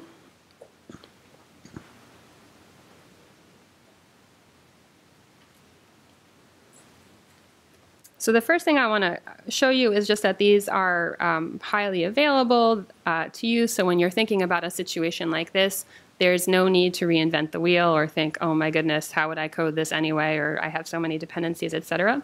So the first exercise is uh, very unfairly, all I've done is sort of tell you what an ARMA model is, and now I'm saying go ahead and simulate it. Like, don't even learn about the statistical properties. Let's really take the out-of-the-box solution. Uh, so go ahead and simulate from an ARMA model. And the hint is to go look at the statsmodels.api.tsa, and you can you can even sort of see the answer here, but I would encourage you to go read the API very briefly uh, to go take a look at ARMA generate sample and think about how you might deploy that. So take one or two minutes, and then we'll talk about that.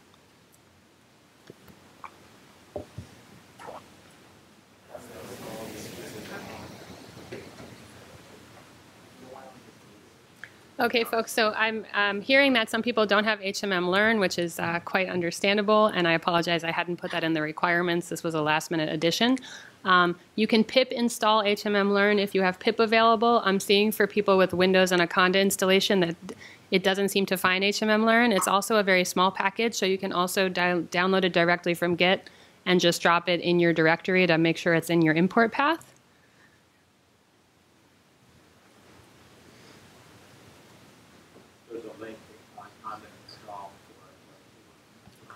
I see. Uh, at least for one person, it said package not found uh, in Windows. I've always I've used Conda and pip alike on Linux, but I don't have experience with Windows, for example. So,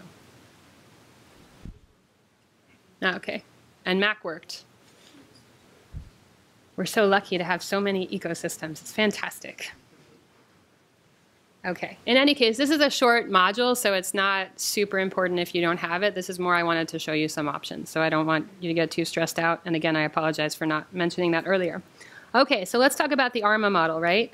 Um, to me, the point is, is I expect a lot of people in this room have not been exposed to this sort of model, so it's a great example of as long as you can sort of dig up a way to simulate it, you can already start getting insights, right? Because sometimes uh, someone will throw like a really complicated equation at you, like I just did, or at least I find that to be a really complicated equation with lag operators, and say, "Oh, it's so simple," and like let's just move on and start analyzing this. And I'm I'm just sort of like this. But luckily nowadays we have so many options to simulate these sort of well-known traditional models that we can just play around with it, right? So in this particular case, um, we just had to set some parameters. You also have to add this one, that's sort of the self parameter, the zero lag. Um, so that's the unfortunate little bit of thinking I think you'd have to do even if you haven't been exposed to ARMA before. And, and then you just sample. And so the delightful thing here, just like we saw with earlier examples, right? For example, I don't really understand how the triangular distribution is generated from a uniform, but I can begin to understand it and think about it by just sticking numbers in. So we're going to do the same thing here, right? So here is one ARMA. This is some kind of 2, 2. So I have two autoregressive coefficients. I have two uh, moving average coefficients. And then I think, okay, well, that's one version, but what about if I just make this a zero and a zero? What does that look like? Oh, that seems, that seems to get smoother or it somehow has fewer kinks. And what if I make this negative instead of positive? Oh, then it gets a lot jumpier. And is that, is that sort of replicable? What, is that a positive or a negative? Ah, it's less jumpy. And if I put the negative back in, oh, it's more jumpy again, right? So I, I, can start getting insights, oh, like this coefficient seems to have some kind of impact. So let me take away that jumpiness. Actually, let me just drop this here. What about, on the other hand, if I put a negative here into the moving average, what does that do?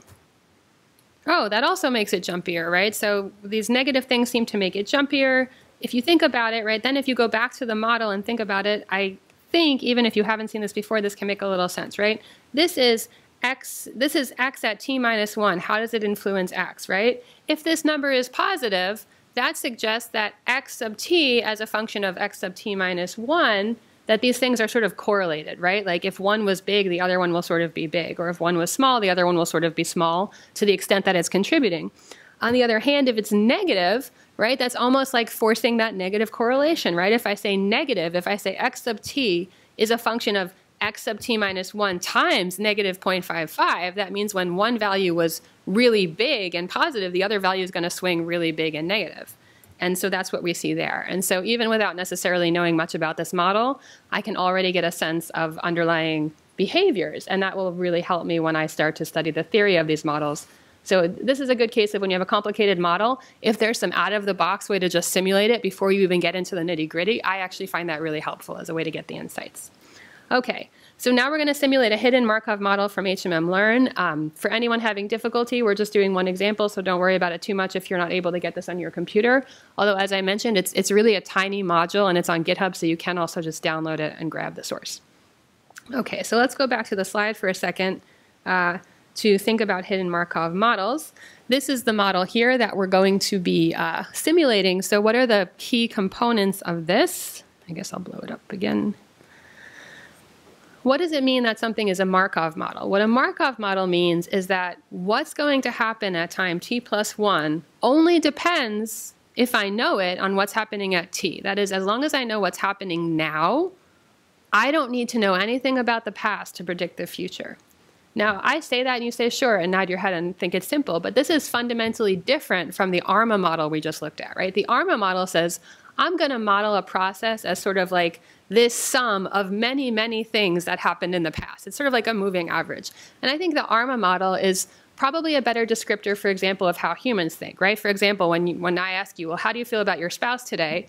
You'll be like, Well, my spouse made me coffee this morning and that was nice, but yesterday they didn't take out the garbage when they were supposed to, and the day before um, they got to sleep late and I had to go go to work early and they weren't very sympathetic. And so like the, the way I'm feeling about my spouse is sort of like some kind of sum of that thing, right? Versus uh, a hidden Markov model, which is very not human at all, would be like, how are you feeling about your spouse? And you would just sort of like look at them at that exact moment and decide. And I'd be like, I'm feeling great because my spouse has this like fantastic suit on right now and is looking so handsome or whatever, and, and nothing in the past matters. Um, so that's the hidden Markov model. Now, this actually turns out to be a great physical description, though, for all sorts of things that are not like human relationships, right? Things where it's not that it's a memory free process because where you are happened based on what happened in the past. So it's not that the past is irrelevant, it's just that any information you know is summed up in what's going on now. So this is a fundamentally different way to think about data, and this can also be simulated fairly easily and out of the box. So to my mind, that's the really cool part is you have actually a fairly complex model and there's just out of the box simulations, which I have to say, for example, when I was working on these in college was not true and they were a pain in the butt. Uh, so it's quite nice that they're around now. So what are the things we need to know for this model? Ah, I left out an important point. The final bit about a hidden Markov model is that there are two things going on. You have the hidden things that you can't really see, and then you have the manifestation. So that's the final bit of complexity about this model. We hypothesize that what's happening in the world, which is what we can see, the y's, is a function of things that we can't see, but that have some sort of underlying truth to them, right? Um, and so to go back, for example, to uh, the spouse example, right? You can't see into your spouse's brain, like, do you still love me today? Or, or are you going to like take out the garbage like you promised me? You can't see this true underlying state. You only get to see the manifestation of that state, right? So you get to see did they get you coffee this morning or did they take out the garbage like they promised you? And actually, this part is sort of well described by human relations, right? Because um, let's say you observe that your spouse did not take out the garbage that tends to suggest that the underlying state was that they intended not to, but it doesn't actually prove it, right? It's probabilistic. There is some chance that their underlying state was that they fully intended to keep their promise and then they just forgot. But it's also possible the underlying state is that they never intended to keep their promise and didn't do it, right? And so uh, we actually, in this sense, use this sort of rationale all, our, all the time in our own thinking, even about simple things like human, well, simple things like human relationships, to the extent that we realize that the manifestations we see are some probabilistic indicator of the underlying rate. Also true um, in more sort of natural science applications. For example, hidden Markov models are often used to describe the state of DNA. For example, maybe you're observing uh, something about how the proteins are manufactured, but the baseline state is actually the methylation of that underlying DNA, which is not directly observable, possibly. So there's an, a natural science example instead of more rom com stuff. Okay, so now that we've got all that, we need three things to simulate one of these, right? We need the start probability. We need to say, okay, given however many states we've decided we're going to have, what's the probability when I start looking at this process that the state is in each of these, right? So these need to add up to one and be distributed among the states. For example, if I were to fill in a zero here, that wouldn't particularly make sense, right? We also need a transition matrix.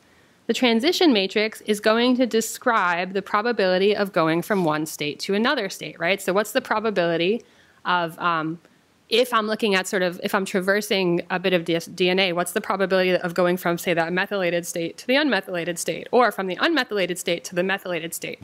And one important thing to realize is that unlike, for example, uh, normal distributions where we expect covariance matrices that are, um, what's the word, symmetric, uh, that doesn't have to be true for transition probabilities. It can be true that the probability of going from a methylated state to an unmethylated state is not the same as the other way around, right? And in fact, that's often what's interesting about science is that there's some directionality.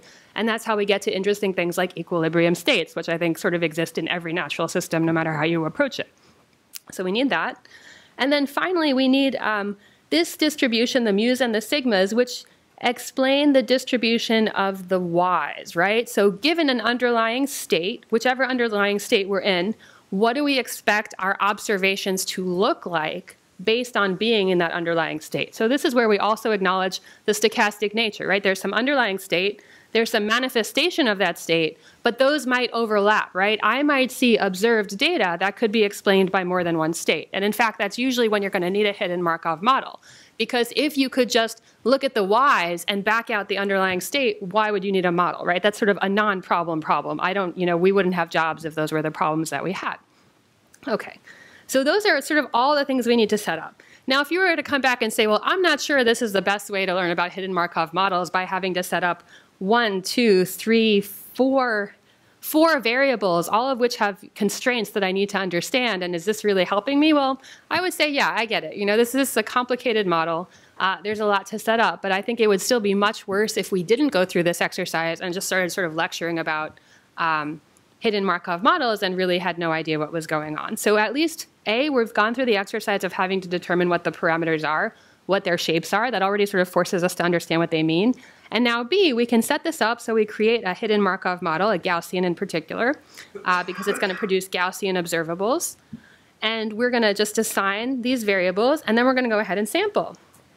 And the cool thing now is A, we can uh, check what our plot looks like. So here, um, notice we've actually kind of done a make blobs all over again, right? But not with sklearn. Now we've done a make blobs.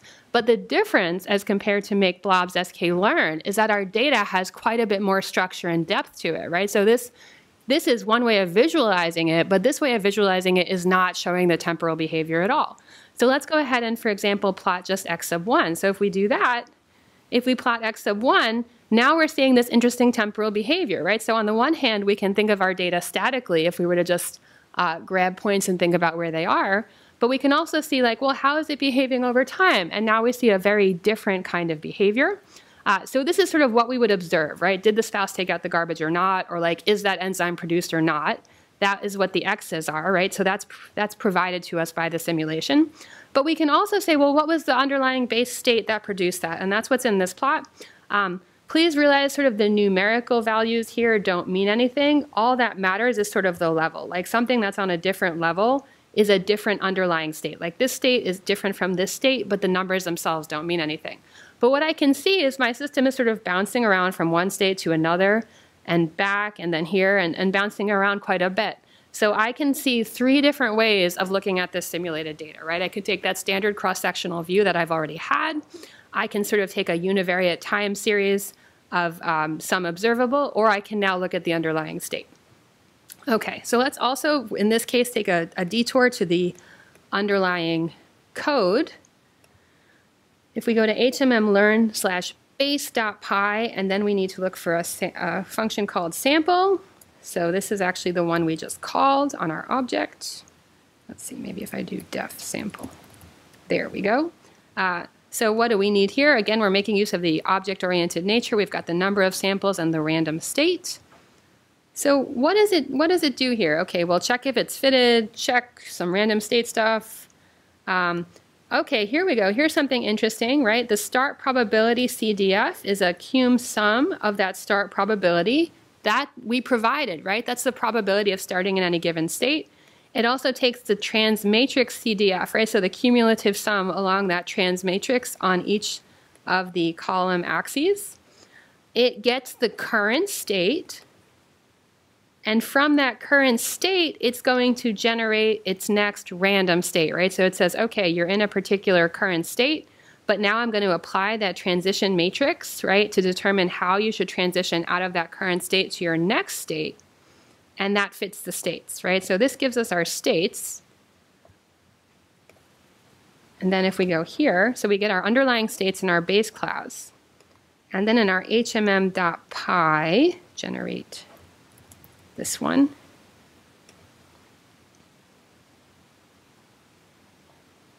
Let's see. Generate so in this case, we have generate sample from state, right? So now we've, in the first step, we've generated the states, right? We took our priors for where we start, we looked at our transition matrix, we did that repeatedly to create the states, right? Because that's the ground truth. Now we back out and say, okay, now that we have the states, we're going to use those states to sample what we would actually see. So now it goes through all of the states, and for each state, it generates a multivariate normal. Why a multivariate normal? Because this is a Gaussian hidden Markov model. If I used a different kind of hidden Markov model, I would have a different distribution. But here it's recognizing, okay, so for each time step in your state, generate the points that correlate to that state.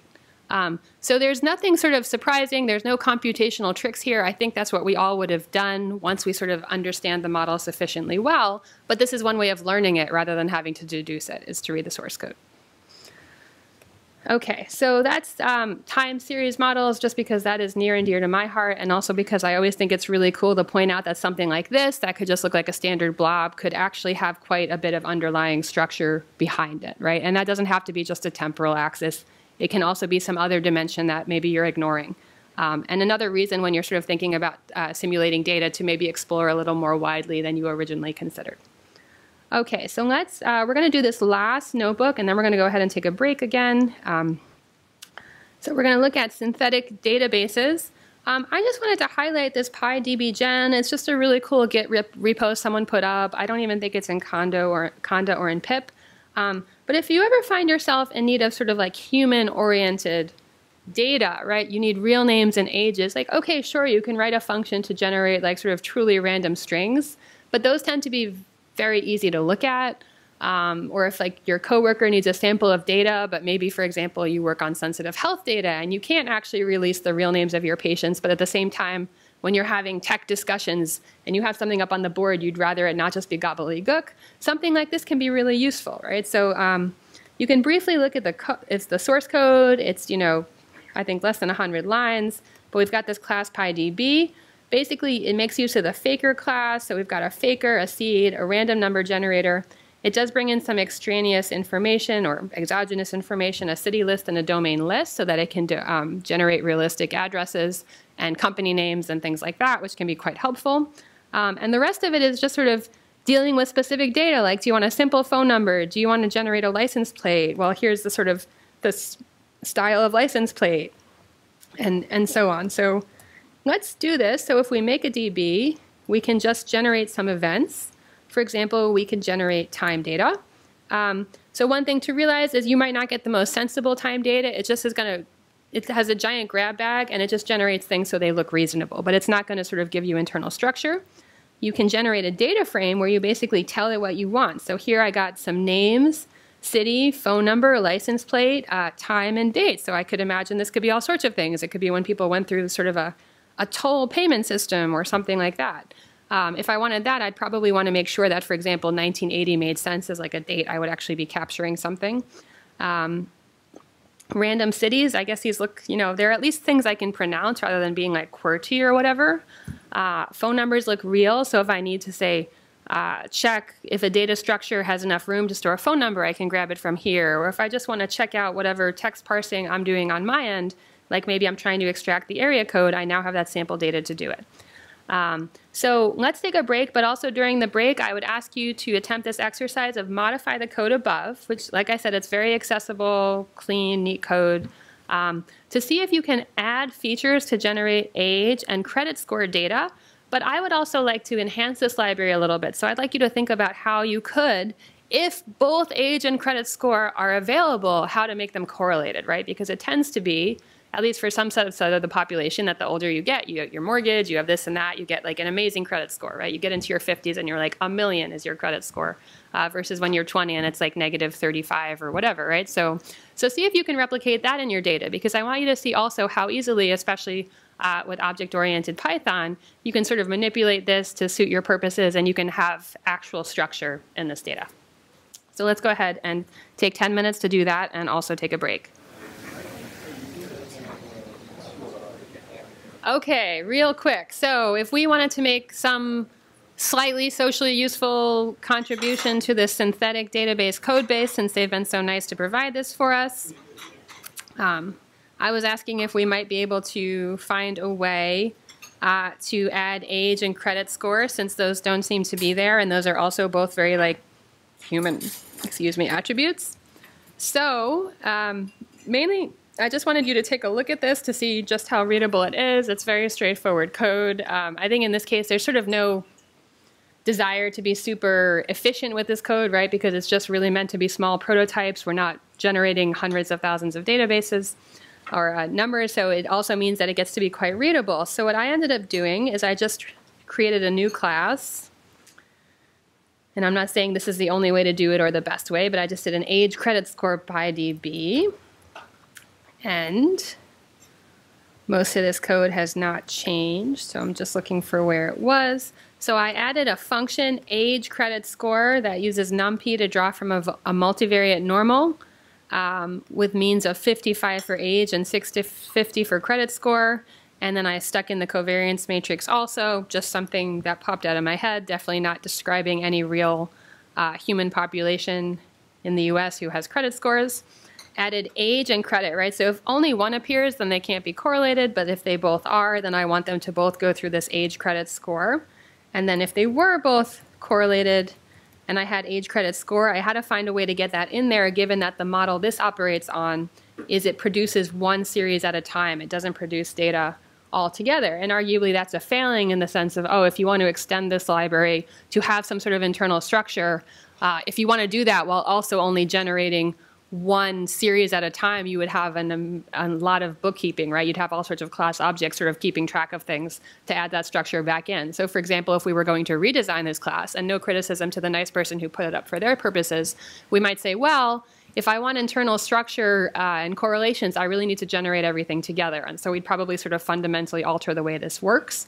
Uh, so that's also it's good to keep in mind, right? Because maybe you like this functionality and this could be useful for you at work if you work with human data, but maybe you know you want structure in your data, right? So you already know you'll take this and maybe do a rewrite and maybe contribute that to the open source community. So lots of opportunities uh, to give back as well as to also save yourself some work. Um, but the only other thing that was really necessary here was, ooh, it's behaving a little funny. Uh, here we go. Uh, if we had age and credit score, then I just did this very janky swap in an age and credit score function instead of the age and credit score together. And then, of course, at the end, I had to clean that up. So if I do that, then I do indeed have the structure that I wanted in my data. So um, mainly, I just wanted to make you aware that there are so many of these beautiful little projects people have put out there. So when you have some annoying work need of generating a certain kind of data, usually someone else has had that need. You can easily find these things, and it would be great actually one of the things I think Python is very much missing is some sort of like realistic human uh, database generator with some kind of internal structure. So if you have many free weekends and infinite energy, that is something I would really like you to do. So just throwing that out there. Okay. Okay, so that's, we're sort of at the end of our like sort of simulating from distributions in this sort of generic sense. As I mentioned, there's this whole sort of academic pursuit, right, of uh, Monte Carlo simulation and how do we simulate really complicated distributions, and we haven't talked about that at all. Um, mainly because that is an extremely well covered topic, especially at SciPy. So you will get lots and lots of that over the next few days. And also because um, surprisingly often that isn't actually the problems that are giving you the most trouble at work anyway, right? Like maybe if you're a Bayesian and you do Bayesian analysis all day, yes, in which case you have those packages. Uh, but otherwise, these sorts of things tend to be more time consuming, right? I need some sort of human generated data or I need some sort of data to test this clustering algorithm I'm doing. So all of that is available, as we've seen this morning, in the um, sklearn ecosystem and also sort of floating around the internet. Okay, so um, on to our next module, which I want to talk a bit about agent-based simulations. Okay, so agent-based simulations um, are really intuitive. And I don't know about you guys, when I first started programming, to me, this was sort of the thing I wanted to do all day, right? When you're a little kid, you think, well, what would happen if, if everybody walked faster on the sidewalk? Or what would happen if everyone was a little bit more rational? And with an agent-based simulation, arguably, you can sort of find out, right? And so social scientists, not just scientists, but social scientists really love these things when they're trying to make a point about like, oh, well, what happens if you have a jury and like one really forceful person on that jury? It's expensive to run human experiments, but we can sort of put a bunch of little computational agents in a room and lock them there for hours just like a jury and see what happens. Uh, so very much uh, the darling of a certain kind of social scientist, but they're also useful in the sciences, particularly in biology. You see all sorts of agent-based simulations, uh, for example, looking at what happens in ecology and things like that. Okay, so what do you need to know from a Python perspective? Well, Python's object-oriented approach really shines, right? So sometimes even at a Python conference, I need to, you know, deliver the bad news that actually R is much better for a given task, and why are we even talking about it in Python? That's certainly not true with uh, agent-based simulations, right? Actually, something like this is a real pain in the butt with R because it doesn't have that delicious, wonderful, you know, object-oriented uh, ease that we have with Python. Uh, it's sort of like winding up a toy model of the world and watching it roll along, right? So when would you use this is something like that. When you're thinking, this is how I speculate that certain kinds of actors, and you can have a heterogeneous assortment. It doesn't have to be all one kind of person. Um, what happens? How do they behave? I can sort of set up their environment, set up their rules of engagement. I can even set up things like their behavior can change over time, right? So that's something we tend to focus more on with machine learning models or with neural networks, right? Especially if they're allowed to evolve even after they're deployed in production. Um, but this problem is, is not new with those sorts of models, right? With agent-based simulations also, you can allow behavior to evolve. You can allow it to evolve in ways that are not fully deterministic, right? Just like humans, right? You can wind them up in a variety of ways and let them be stochastic, just like, you know, the hidden Markov model of your spouse. The interesting thing, and or sort of the holy grail with these things, is the potential for complex dynamics to emerge out of simple rules if you have enough actors or the right balance of actors, right? So those are the sorts of things you see published in academic journals, right? I I have I set, you know, I'm an economist and I set people going with this very simple rule and I showed that I get some sort of socially suboptimal outcome, right? Like people are selling at the wrong price or not everyone who needs their medicine gets it based on these rules. And then you're sort of supposed to draw an inference of if we could somehow modify behavior to change these rules, we'd get a better outcome. A little bit more formally, when we think about agent-based simulations, the goal is to simulate autonomous independent actors to understand how their interactions create larger group dynamics and more complex patterns, right? So what does it look like sort of from the bird's eye view once we set these things going? Standard agent-based models will usually include features like the following. Numerous independent actors, often with different subtypes, right? So if I were going to do an agent-based model of this room, I might do uh, returning SciPy attendees versus new SciPy attendees versus uh, people who just wandered in off the street, but the air conditioning is nice and everyone's so friendly and there are free snacks, right? And I can I could sort of do some economic model of like, what about these free riders who just wander in from you know the Austin heat and get some snacks, etc.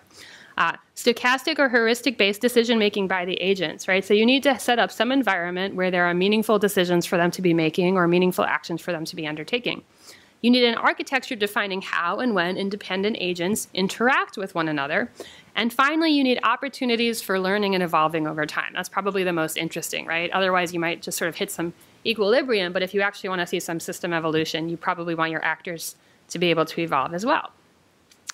Here's another model of how these things work or how people use them more generally, right? So usually, if you're building an agent-based model, um, usually you're not building a model of like, what would a sociology of the population of bacteria on Jupiter's moons look like, right? We're not usually doing that level of imagining. Instead, these tend to be inspired by real systems, right? So like I said, often with social science, a very well-defined situation like a jury or the pharmaceuticals market, or in biology, it might be a system like this particular ecosystem with predators and prey and some kind of scarce resource like water or shelter or something like that, or um, that kind of thing where you can identify the actors in the real system you develop your conceptual model, you try to build a model, and of course, you can never fully describe it. So, one of the goals is often to see what is the minimal description you can have that can reproduce the system dynamics, right? That's another interesting thing to do with agent based modeling. Some really complicated behaviors, it will turn out, don't require a particularly complicated model to produce, right? And actually, that's something people are studying now uh, with the deployment of machine learning algorithms on the internet. There's this theory. Uh, that even without people sort of intending to do certain things, that their algorithms are going to go out there and do them nonetheless. So, for example, one concern that legal scholars have is that price setting algorithms for competitors all of whom sort of rationally want to have the best price and are probably all looking at their competitors' prices, which is not technically illegal, may somehow end up behaving illegally in the sense that they end up behaving like some kind of cabal, right, or whatever the legal term is. They end up behaving like a price fixing scheme even though they're not. Uh, so, in a way, these agent based models are reemerging in a whole new field looking at how machine learning is going to work sort of in the internet ecosystem. So, that may be more relevant uh, to your jobs even than something like uh, how a jury deliberates. But in any case, they run these simulations. And then your model output, it can never really prove something about your model, right? This is sort of a model uh, or about your real system. It can just develop an insight, uh, tend to provide evidence, but this is never going to be sort of uh, damning proof one way or the other for a theory. So some of the limits of agent-based modeling, right? This sounds so easy uh, and wonderful, and all sorts of interesting things will happen when we wind up our agents. There are plenty of limits, though, right? Even apart from the fact that we just can't have all our variables in, there's the illusion of discrete time steps, right? Most systems in the real world don't behave as discrete time steps, right? When we're all doing our shopping, it's not as though we each coordinate every minute as to whether we'll push our button. Uh, same thing with most models that are, are, are happening. Now that's especially important because there's also sometimes this illusion of simultaneous events, right? So if you have really like high density situations, and things appear to be happening at the same time because that's how they're time stamped, you need to remember that they're not. So, for example, that could be a really important distinction in some sort of like physical competition for a resource. Maybe it looks like everyone's using it, but really only one person can get it, right? And so the dynamics of how that works in continuous time can look very different. Um, you're also you're unlikely to discover fundamentally new individual behaviors because you coded the model, right? So what you can discover are the group level dynamics, but since you programmed the agents, unless you did something really complicated or clever, your agents themselves are not going to surprise you, right? They will only surprise you in that they're encountering situations that emerged from their group behavior that you didn't necessarily know you'd see. Um, and then, uh, as I mentioned, but again, uh, debates as to how much the models can be relied on to draw about the real conclusions about the real world tend to go back and forth. Uh, so these things are, are sometimes very much in vogue and then they fall out and so forth. But anyway, it's a really interesting coding problem. Um, and what I want to show you is just how you would deploy this with SimPy. Uh, this is another really cool Python module. And what's nice, I think, uh, similar to the sklearn, right, where you could, yeah, I could write make blobs, right? There's nothing sort of mind-blowingly difficult about it. But if I would write it, that would be sort of 30 lines of a massive for loop, and I'm sort of writing out all these things by hand, and it's really annoying, right? Same thing here. We can imagine doing this, right? I could sort of write out all these agents, and I could sort of write some kind of infrastructure to coordinate them all, and maybe I would have some kind of like heap or something to sort of keep events in time, and I would somehow have to figure out how to have them talk to each other and maybe have like a whole dictionary of how they could talk to each other. Sure, I can code all of that up, right? And maybe my programming would get really good after doing that for months, or I can just use a module, which is what we're going to do now so that we're just aware of there being a really nice handy module. So let's go to the next notebook. Somehow I closed my browser, huh?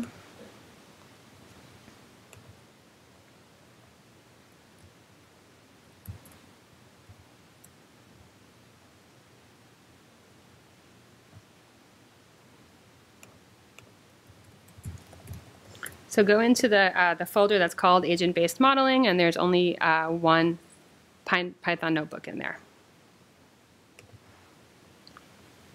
Agent-based.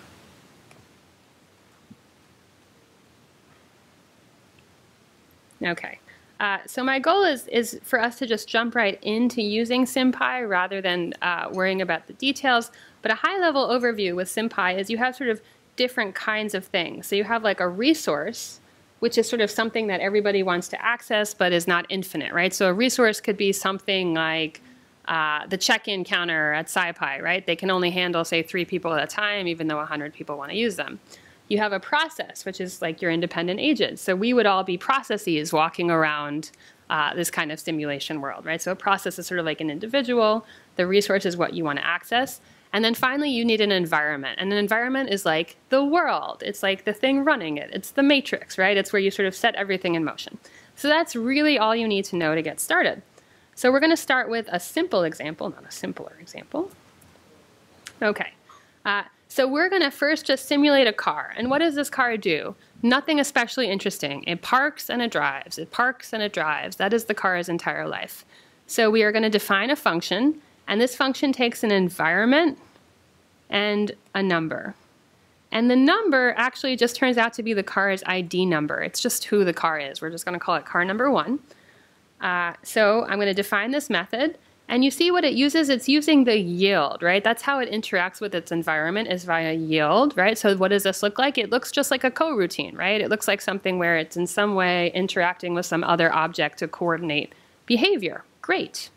Um, turns out that all I need to run this simulation is this line of this stuff, which I could even make simpler, right? This, this is all me just sort of having custom code to define what I want to do. And then my environment. And what's my environment? It's a SimPy environment. I set up a process, which is this car, right? So the environment wants functions to run. So I give it the function to run.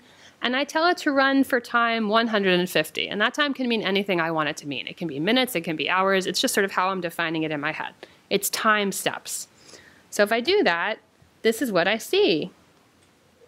I've got parking at zero, driving at five, and then it parked at 26, drive at 30, and so on, right? So instead of me having to somehow figure out how to code this up, my environment just took care of it as long as I, I gave it one stage. Now at this point you're thinking, well, I probably could have done this with the same amount of code on my own. That's true for one car, but how would I do that for multiple cars, right? If I did that for multiple cars myself and had to somehow keep track of multiple cars moving through this environment, I'd have to have some kind of array of the cars, I'd have to check on them all the time. That's where your infrastructure really blows up, right? Is when you're trying to coordinate. Or instead, I can simply let the environment uh, do that. So in this case, I have three cars, and now we begin to see a bit more sort of complexity emerging, right? So now I have car one, car two, car three. And you'll notice that, okay, fine, at first, car one, car two, and car three park in that order. That's how they went in. But after that, it is not deterministic, right? And this is actually going back to when we very much started, right? This is random number draws. So my random number is still coming into this system. This is a deterministic simulation in the sense of the agents have deterministic heuristics about what they're going to do, but then the numbers governing those heuristics, right? How long do you stay parked? How long do you drive? That's coming from the random number generator. And which random number generator? The one we looked at, you know, two hours ago when we started. Okay, so we're already seeing a bit of interesting behavior, but uh, not how I want to spend my life. I don't want to spend my life thinking about how cars drive, right? So this is just, okay, this is good. You know, this gives me a way very simply with just a few lines of code uh, to have many agents sort of going around in the world. Okay, so now I want to do something uh, a little bit more complex. And actually, this is one lake, not three lakes. Uh, so I'm, we're going to simulate a situation. Uh, I am not a biologist, but this is sort of what I imagined, um, where we have animals who need to drink, eat, and reproduce, right? That's sort of their purpose in life. And they live in this wonderful environment, maybe a little bit like Austin, where they've got plenty of food. Maybe they eat scorpions and tarantulas all day. Uh, but they are water limited, which I imagine Austin is, although maybe I'm just generalizing about Texas. Uh, so they're water limited. There's only this one lake, and the lake can only accommodate a couple of animals at a time, right? So they're all busy eating, reproducing, eating, reproducing, but every so often they get really thirsty and they have to wait their turn in line for the lake. So that's what we're going to simulate here.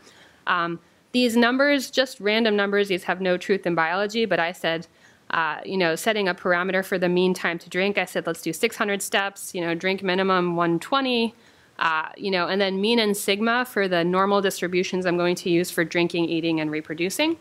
I've also got this tree growing duration because I have this idea that when the lake is not busy nourishing animals, if they're not around, it's somehow nourishing little trees and pushing trees into the world. So again, we have a little bit more complexity. Um, so we're going to go ahead and define those define just a helper function time two so I can just pull my random draws for my activity. Uh, the activities are going to be going to the lake, which is separate from drinking. Why is it separate from drinking? Because the lake is capacity limited. You can go to the lake, but if there's a line, you have to get on the line. Um, and then th everything else, uh, reproducing and eating, those apparently do not involve waiting. Those you can just do whenever you want in this natural environment. Uh, but they are time consuming. So I would point out, for example, that reproduction takes you know, a mean of 200 time steps versus drinking takes a mean of five versus eating takes a mean of 10, right? So if you think about sort of the numerical distribution of how these animals spend their time, um, and they do not do both at once, although you can build that into this model too if you wanted to get more complicated. So we've got an animal, it needs an environment because it's going to be one of these processes, right? It needs a world to live in. It needs a name just so that we know what to call it. In this case, we're going to use uh, the object-oriented aspect of Python to also keep track of its offspring. We're going to let each animal track its history. There are actually ways with this package to have sort of external trackers. It's almost a little bit like the Truman Show, like you set people going in the world, and then you also have cameras to take a look at them. So if you're old enough to remember the Truman Show, uh, that is sort of how that would work as well. But in this case, we're going to let each, each animal count it themselves.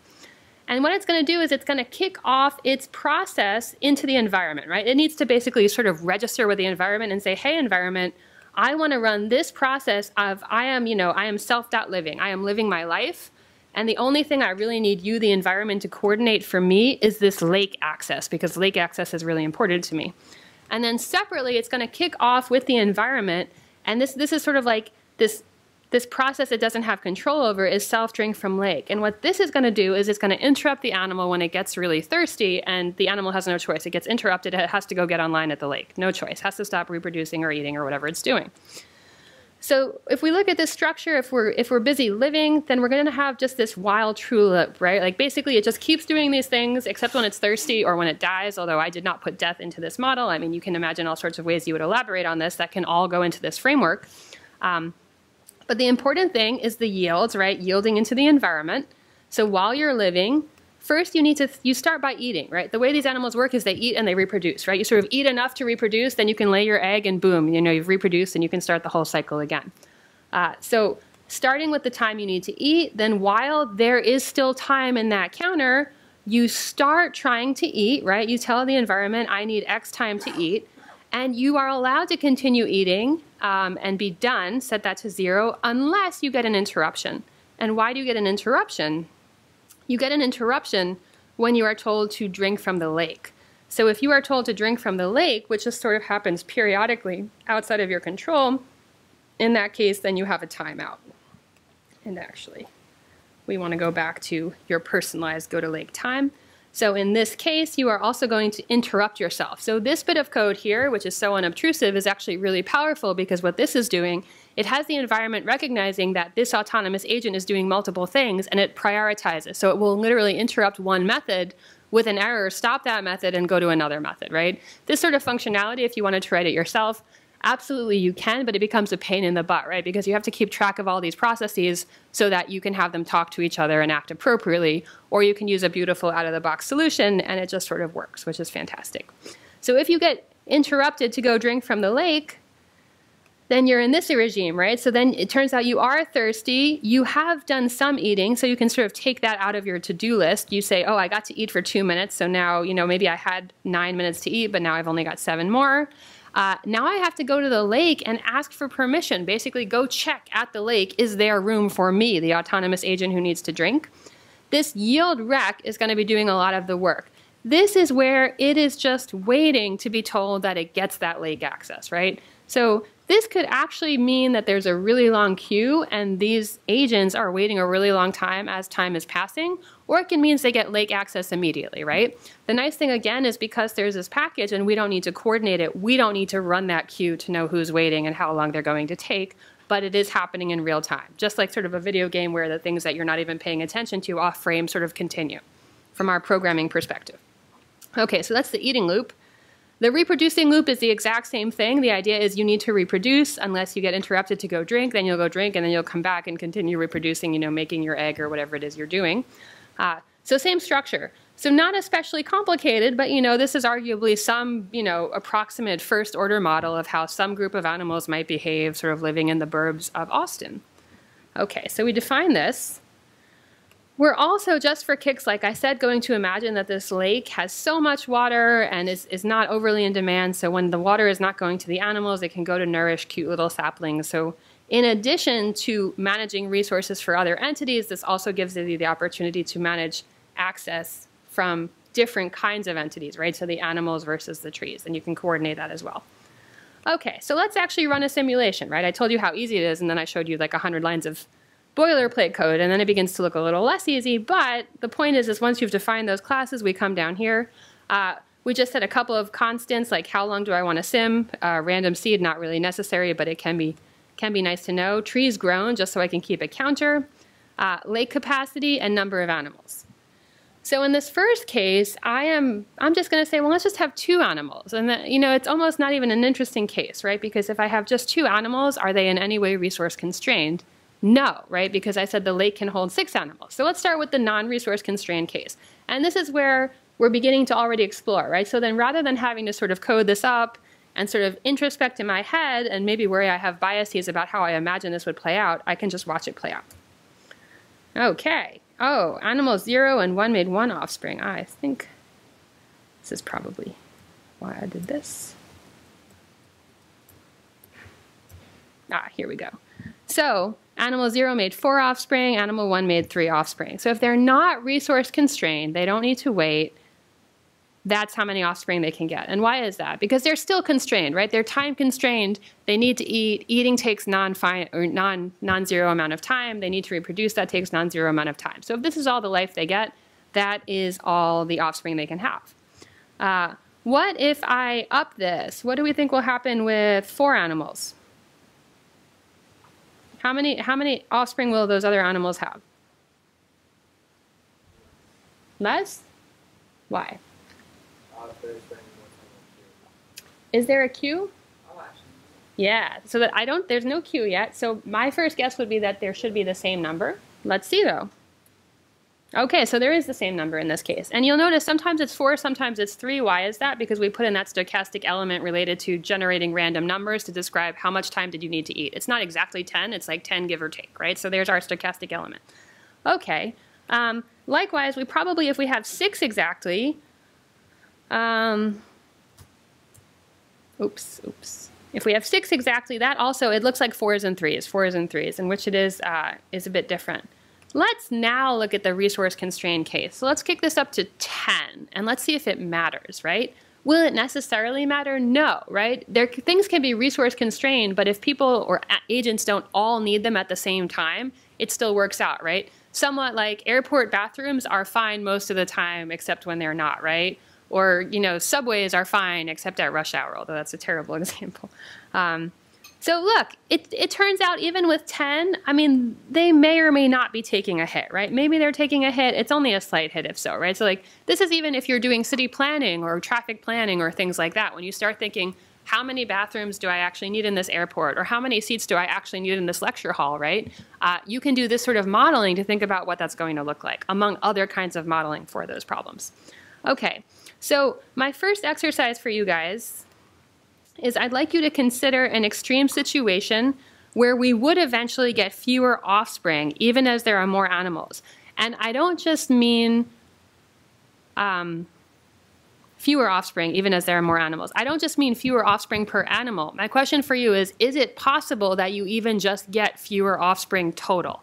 Can you have fewer offspring even as you have a bigger population? And does it, you know, does this, to first order, does this agent-based simulation allow us to answer that question? So take two minutes, uh, should be a, a fairly uh, simple modification to the code, and see what answer you get.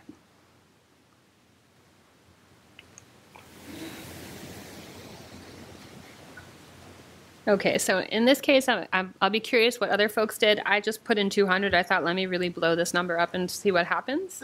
Um, and actually, you can get to the case where there are there are no offspring at all, even though you have many animals. So somehow the lake is so constrained that nobody ever ever gets to reproduce because they're all just waiting online for water. Okay, so that's some sort of parade of horribles example. Uh, the next question we could ask, next exercise, is sort of given this model of the world, right? How would you determine sort of the number of offspring produced by all of the population as a function of the size of that population, right? So in this case, I just said, well, if I really max it out, we don't get any animals. But you can still ask, okay, if maybe this is some sort of like semi-wild animal that I'm farming and I want to know like where am I going to get the best returns on my money? Obviously, I don't want to have 200 animals because I won't breed anything. I'll have nothing to sell. Um, given these constraints, what number, like what size population would I want to sort of maximize my profit if I'm like a meerkat farmer or whatever it is, right? So how would you modify this code to answer that question? Take a couple minutes. Okay, so let's take a look at this together. So how would you determine the number of offspring produced by a sim as a function of the number of animals? So I, again, not knowing anything about population dynamics, but that's part of the beauty of this sort of thing is you might not be a biologist, but you might be able to contribute something nonetheless with your programming skills or at least get a sense of what they see in the wild. Uh, so I decided let's just try a wide range of numbers of animals, and the only thing I needed to do was kick this into a for loop and just have some kind of record keeping um, and I came up with something like this, right? So if, um, if these are the number of offspring, I'm trying 2, 10, 20, 50, 100, 150, 200.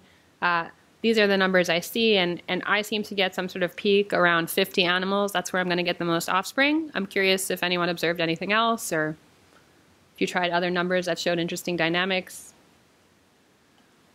Uh, what's wrong with this approach so far? Like, I wouldn't, I wouldn't go to my boss and say, "Go buy 50 meerkats, and we're definitely done." Right? There's, well, there's many, many limits to this, but what's like the obvious one right now?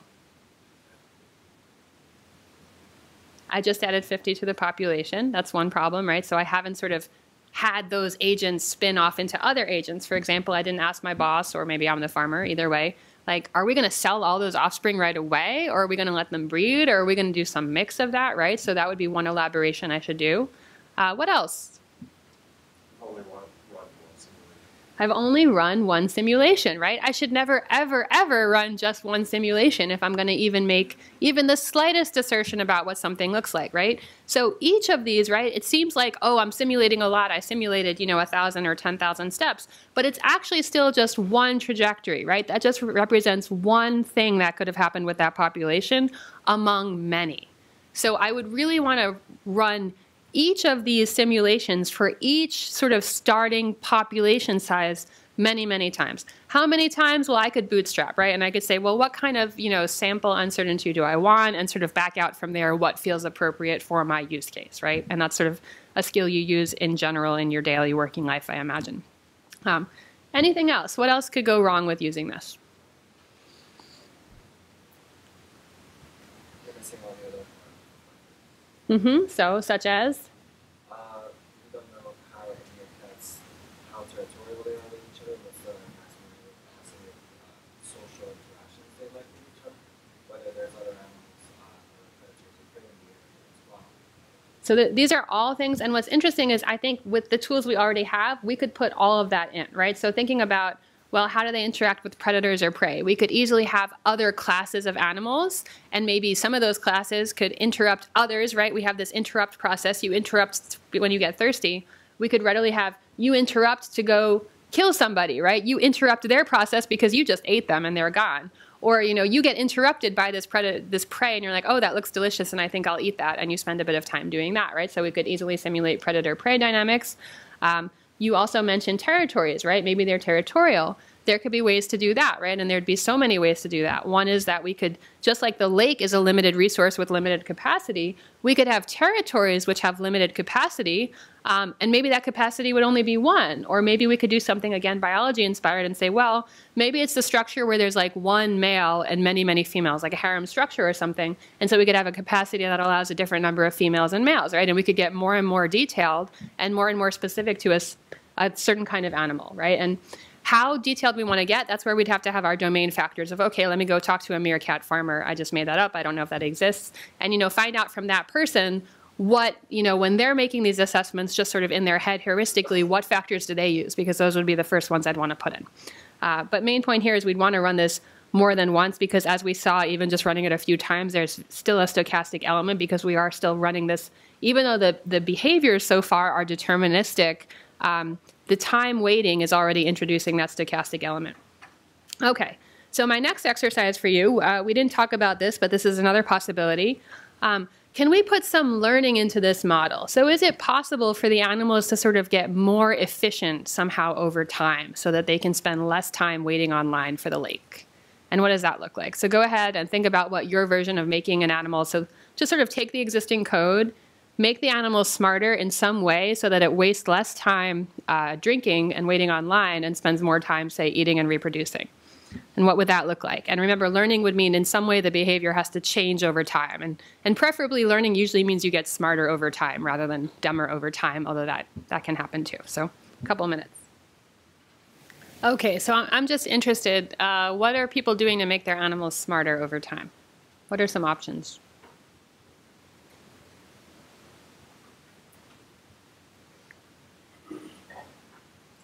Can they look to see, can they look to see how long the line is? You could. You could check the API and, and see if that's available.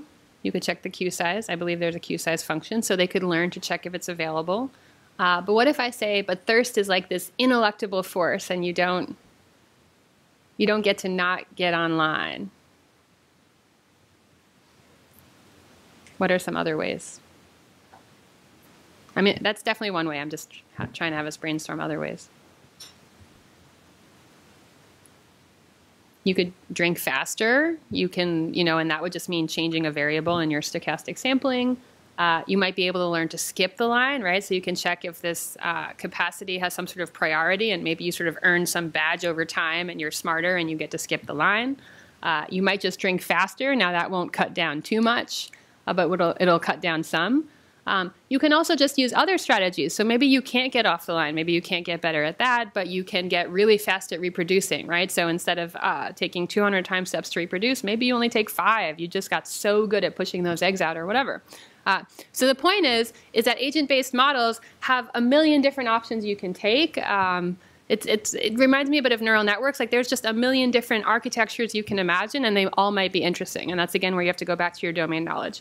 Uh, so I, I did something really simple. I just said, uh, when you get interrupted, actually, I, I took your approach of, um, or a similar approach of like, just don't go to the lake, basically, right? So I, I decided my animals over time, as they gain experience, they are sometimes able to skip the lake, right? So maybe they feel thirsty, but they somehow have like learned to cope with that pain and they just go on with it.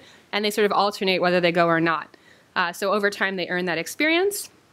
So uh, let's see if that made any difference, right? So now I, I do the same thing I did, right? I look at the number of animals and look at the number of offspring. Um, hold on, I think. Let's see, did I put this in?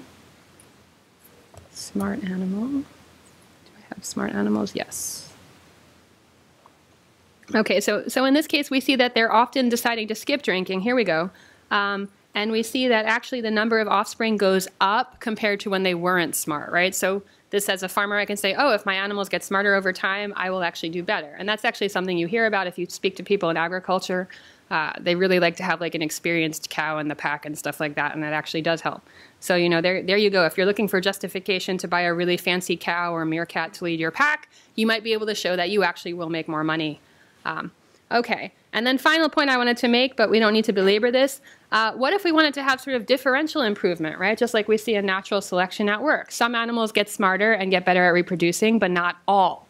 And you could ask questions like, well, is that actually like when I'm the farmer, is that maybe better, right? Maybe when I'm the farmer, I don't want all animals to get better and smarter. Maybe it's actually good to have kind of dumb animals and smart animals.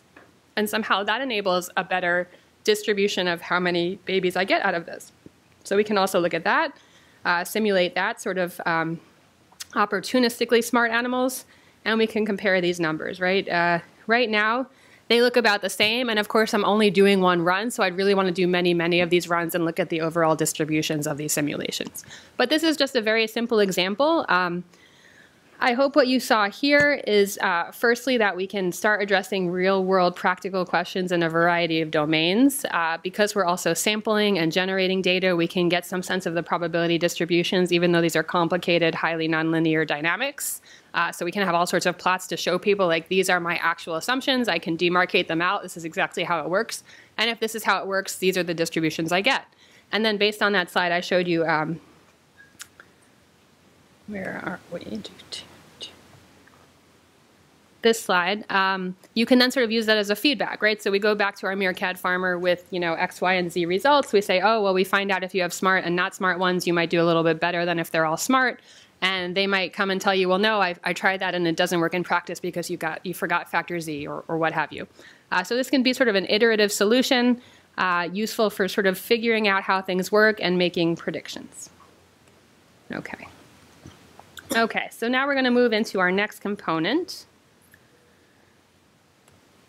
which is a, a, science simulation, and in particular, we're going to work on a physics simulation.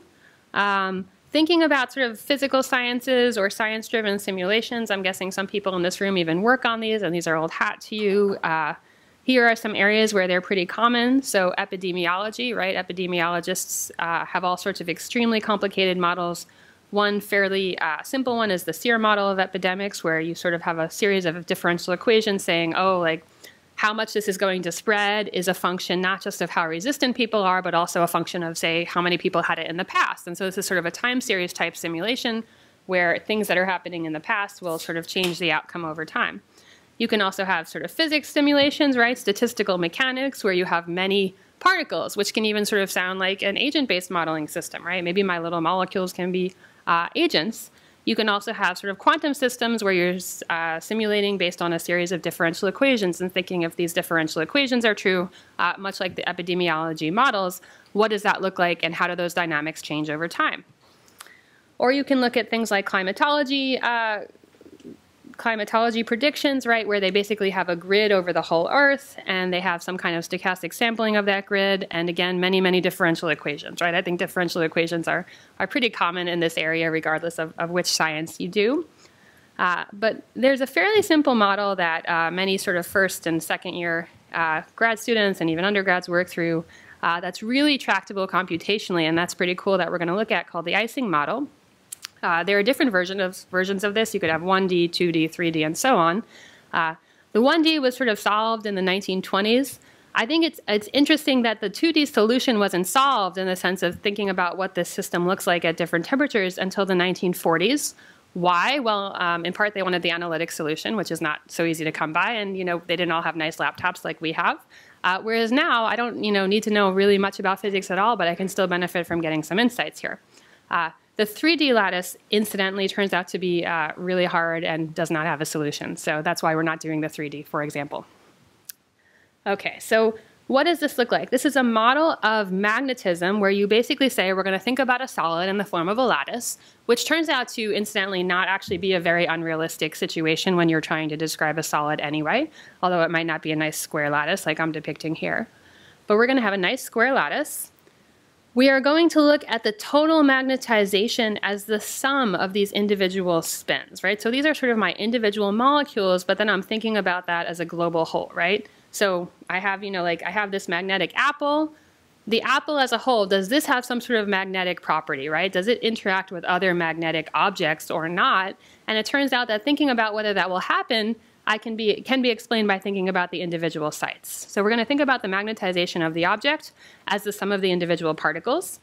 And what governs what these particles are going to do? Well, maybe they just sort of come into being in some sort of randomly distributed state. But then, since they're situated in a lattice, these uh, particles, these individual spins, have interactions with each other. And their energy is going to be governed by whether they are aligned or whether they are not aligned. And the interesting behavior uh, that people used that they were trying to explain with this was that they noticed that magnetization uh, was something in, in, ferromagnetic objects that disappeared with warmer temperatures, right? So you could cool down an object and make it a magnet, and then you could warm it up, and it wasn't a magnet anymore. And uh, maybe if you're a physicist, that seems all sort of normal, but certainly in the 20s, that was like, whoa, what is going on here? That's really magical, and, and how can we explain that? Okay. Uh, so I think I covered this. It's a relatively simple model, um, not easy to solve analytically, but very easy to get some computing insights. And it's going to explain the existence of this critical temperature, as I explained, you know, above which you lose your magnetic properties. Okay. So let's take a look at, um, this is in the folder, I think it's called Physics Sim or something like that. Let's see. Yes, Physics Sim. Okay, so if we look at the Physics Sim, or the student version, the first thing we're going to do is we are going to uh, set up our lattice. And uh, you can make yours larger if you like. I happen to have a very, very weak laptop, so I'm going to keep this to be like a really tiny little ferromagnet, uh, 5 by 5 And the thing that's going to be interesting after we set up the code is we're going to really be looking at temperature, right? Because that's the behavior we, we're seeking to understand is how come temperature interacts with magnetism. Okay, so I have this random block. And the first thing I need to do is initialize it. And as I mentioned, we're positing a world in which these things, maybe they're just sort of automatically assembled in, in some random way, right? You know, like the God of our environment comes down and sort of assigns spin states to each one. Um, and notice again, right, that this goes back to what we started with at the beginning of this tutorial a few hours ago. Look, np.random.choice. There I go again, going back to that np.random. This is all, at the end of the day, just based on that one random number generator from 0 to 1 uniform. It all comes back to that, always. Um, okay, so here's where there's a tiny little bit of physics, right? Uh, two things. I think the easier thing is that the magnetization for state, right? The overall magnetization, when I'm thinking how magnetic is my apple, I'm just going to sum up those spins at every little molecule on my apple. Luckily, this apple that I have is only 5 by 5. It's only 25 spots, so that's reasonably easy to do. And then I also have this function, the cost for center state. So the idea here is that sort of the energetics of that center state depend on its neighbor. And in particular, the energy depends on sort of the neighbor's magnetization or spin times that particle's magnetization or spin. So to go back to the slides, when I'm thinking, for example, about this particle here, this red one, where I'm waving my mouse, we're going to posit that its energy to first order has to do with how well aligned it is with this one, this one, this one, and this one, the ones above.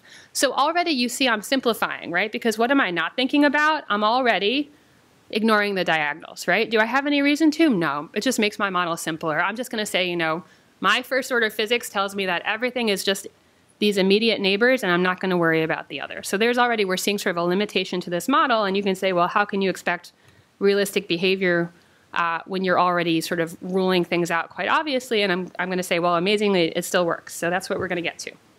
Uh, but that's this cost for center state, right? So this is the energetics around just the one particle rather than around all of them. Okay, so now we now we have the bit in our system where we actually have to sort of wind this system up and set it running. And so to do that, we have two things. We have a, a MCMC adjust, which is a way of deciding, looking at a particular site, should we flip that site? Is that something we would expect to happen physically, right? And we have two ways of deciding. Um, the first is we look at sort of the energetic cost, right? And if we say, actually, this thing is in like an, a very energetically unfavorable configuration, we're going to flip it, right? Because that's what happens in nature. Systems like to be in the lowest possible energy configuration they can. It's the reason we all like to just sort of lay around when we can. It's literally the same thing. It's lower energy, it's an easier system to maintain. Same thing for particles, right? So they would rather be in the lowest possible uh, energetic system. But there is some limit on that, right? Because if that were true, you wouldn't even really have human life or any life at all. We would all just be sludge on the floor because that would be the lowest energetic state. Um, so you also have these sort of equilibrium, right? And one of them comes from the fact that we don't have zero temperature, right? We actually have a temperature that's above zero, meaning there's some energy floating around in the universe and it has to go somewhere. One of the places it can go is into putting a spin into the energetically disfavorable uh, location, right? And that's where we already get some insight into why magnetism might disappear over time. As we raise the temperature, that energy needs to go somewhere. As it goes into the system, it manifests as being in energetically higher states rather than lower states. Um, the way we see this sort of manifested is this is this is sort of the main logic of the whole simulation, right? If it's energetically favorable, we're just going to switch. On the other hand, even if it's energetically unfavorable to switch out of a current state, we may actually do that proportional to some exponential probability, right? So we say this, if we pick a random number and that random number is less than this exponential of the cost times beta, where beta is the temperature, then we are going to switch to. Um, so in physics, you would call this the balance equation. This also looks like more general Monte Carlo simulation techniques, so you've probably recognized it from that. Uh, but that's all the logic. That's also though where, where we're going to get that stochastic part of our system, right? So again, here's our np.random.random. Here it pops up again, right? We've been seeing this thing all morning because that's what everything is built on. So we can run our state. And then if we do run our state, the first thing we're going to do is initialize our state and take a look at it if we do that, right, if things are sort of randomly initialized, we have some pluses and some minuses, right? Things are sort of randomly aligned.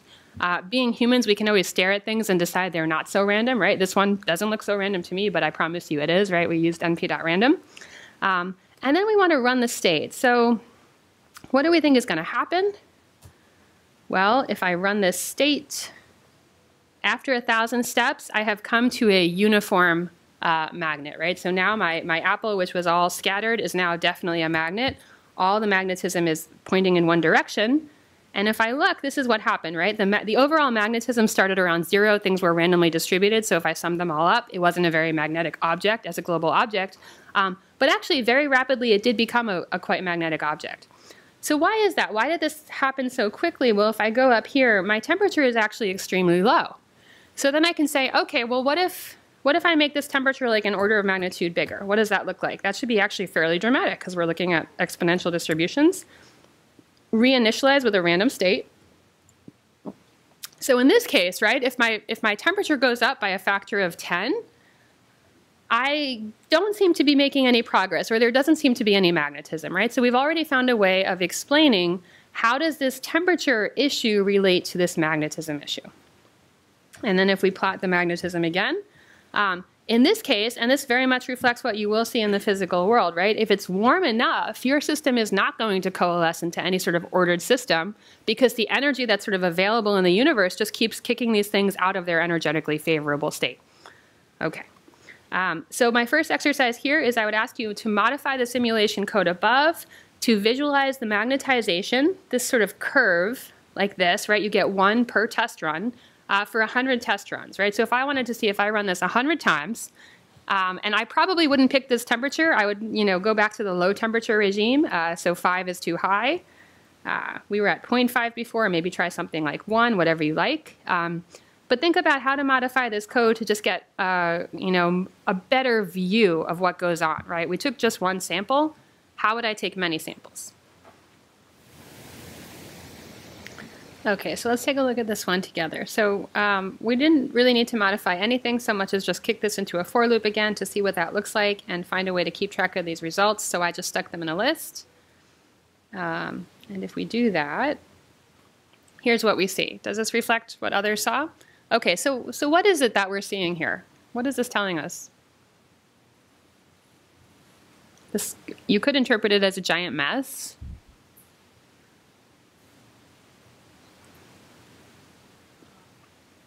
It's showing the distributed axis that they had over their entire So, population.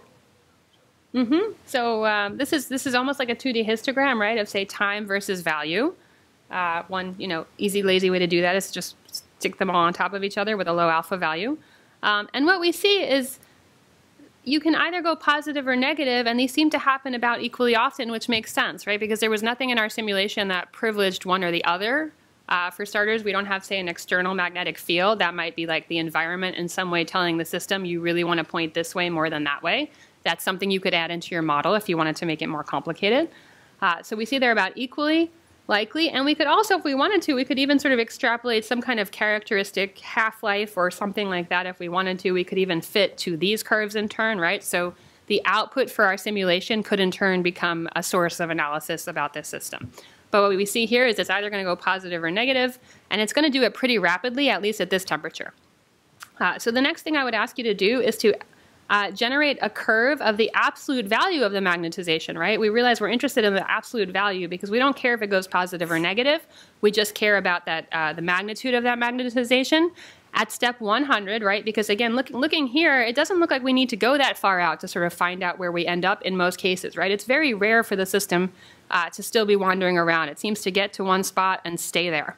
Uh, so try that for the following temperatures, 0.1, 0.5, 1, 2, 5, and so on um, and see what that plot looks like.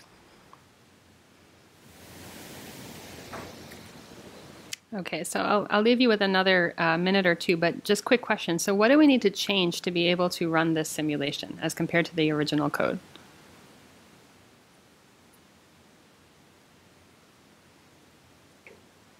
Put an absolute value somewhere. Okay, so you need an absolute value to look at your magnetization, right? Before this, we, we had been a little naive. We hadn't realized that that didn't matter.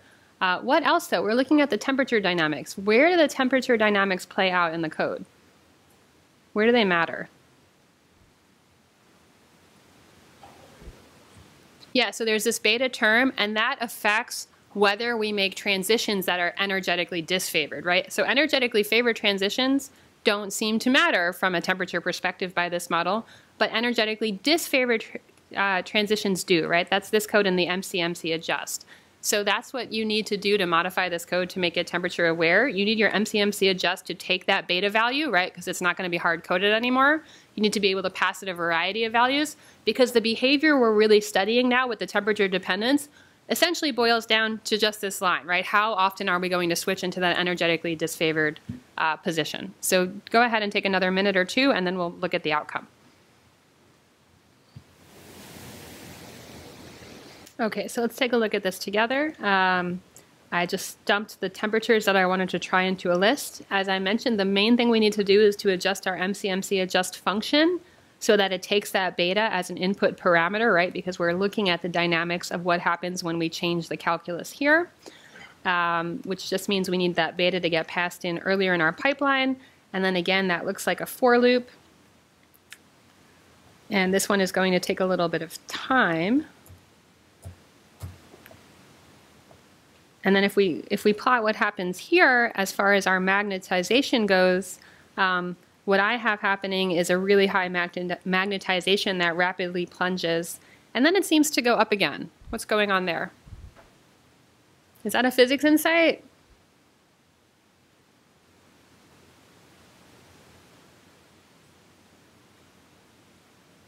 Let's go, let's go back to my code, right? So I have a result, and then for each temperature in temps, I run a simulation 20 times, and then I take the average magnetization in those 20 times at the very end of my histogram, and that's what I get.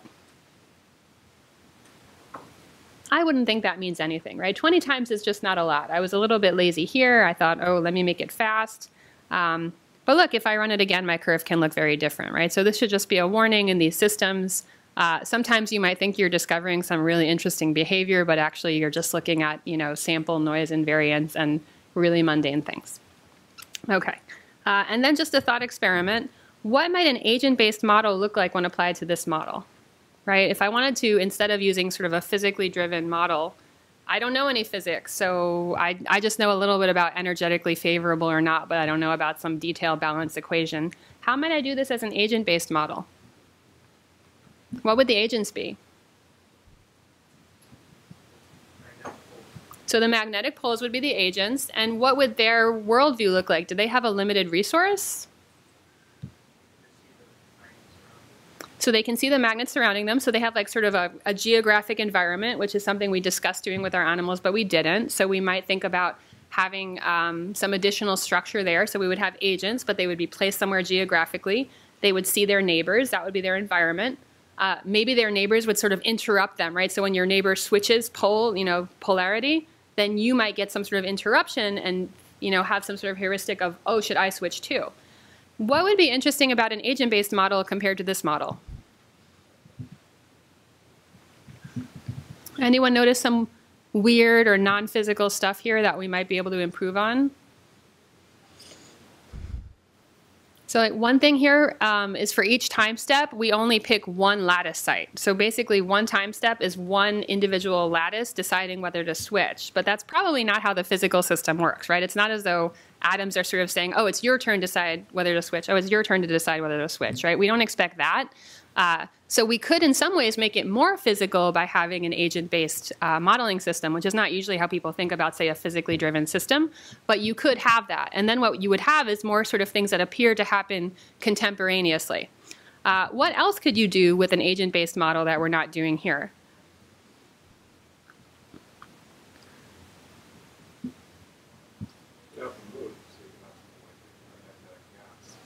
Okay, so you could you wouldn't have to have a lattice anymore, right? You could, with the same model, be much more uh, flexible about what you're looking at, right? So uh, magnets don't just occur in solids, they occur in gases as well, um, and that's actually quite a relevant area if we ever want to solve fusion, so that actually could be something important to do.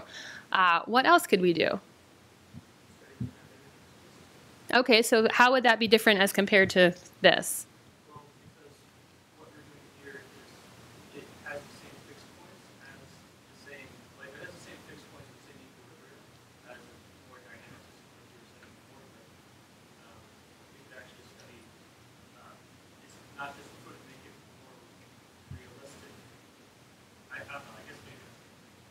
Well, it, but it's an.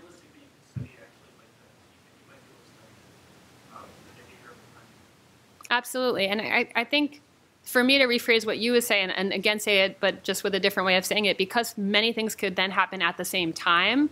The time behavior we see would be actual time behavior versus right now what we're really seeing as time is just visiting different lattice sites, right? So again, then we could start thinking about what does the temporal behavior really look like, Whereas here, we're really just watching to see if something settles into equilibrium or not, and it's not really a time series. Okay, great. Um, so yes, I just want to point out people really think of agent-based modeling as something you do in the social sciences or biology, but actually you can put, for example, physics or you know chemistry or whatever sort of harder sciences into it as well and put physical rules into it. Okay, so let's take one last break, and then when we come back, we're going to cover our final component, which is about techniques for augmenting data when you already are starting with a data set.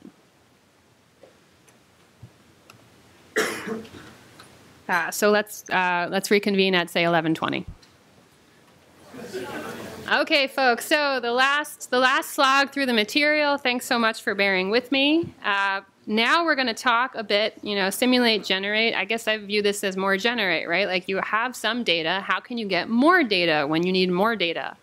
Um, especially if you uh, work with machine learning and even more so with neural networks, the more data the better, right? And um, it often turns out that even synthetic data, if you do it right, can actually tremendously improve your model.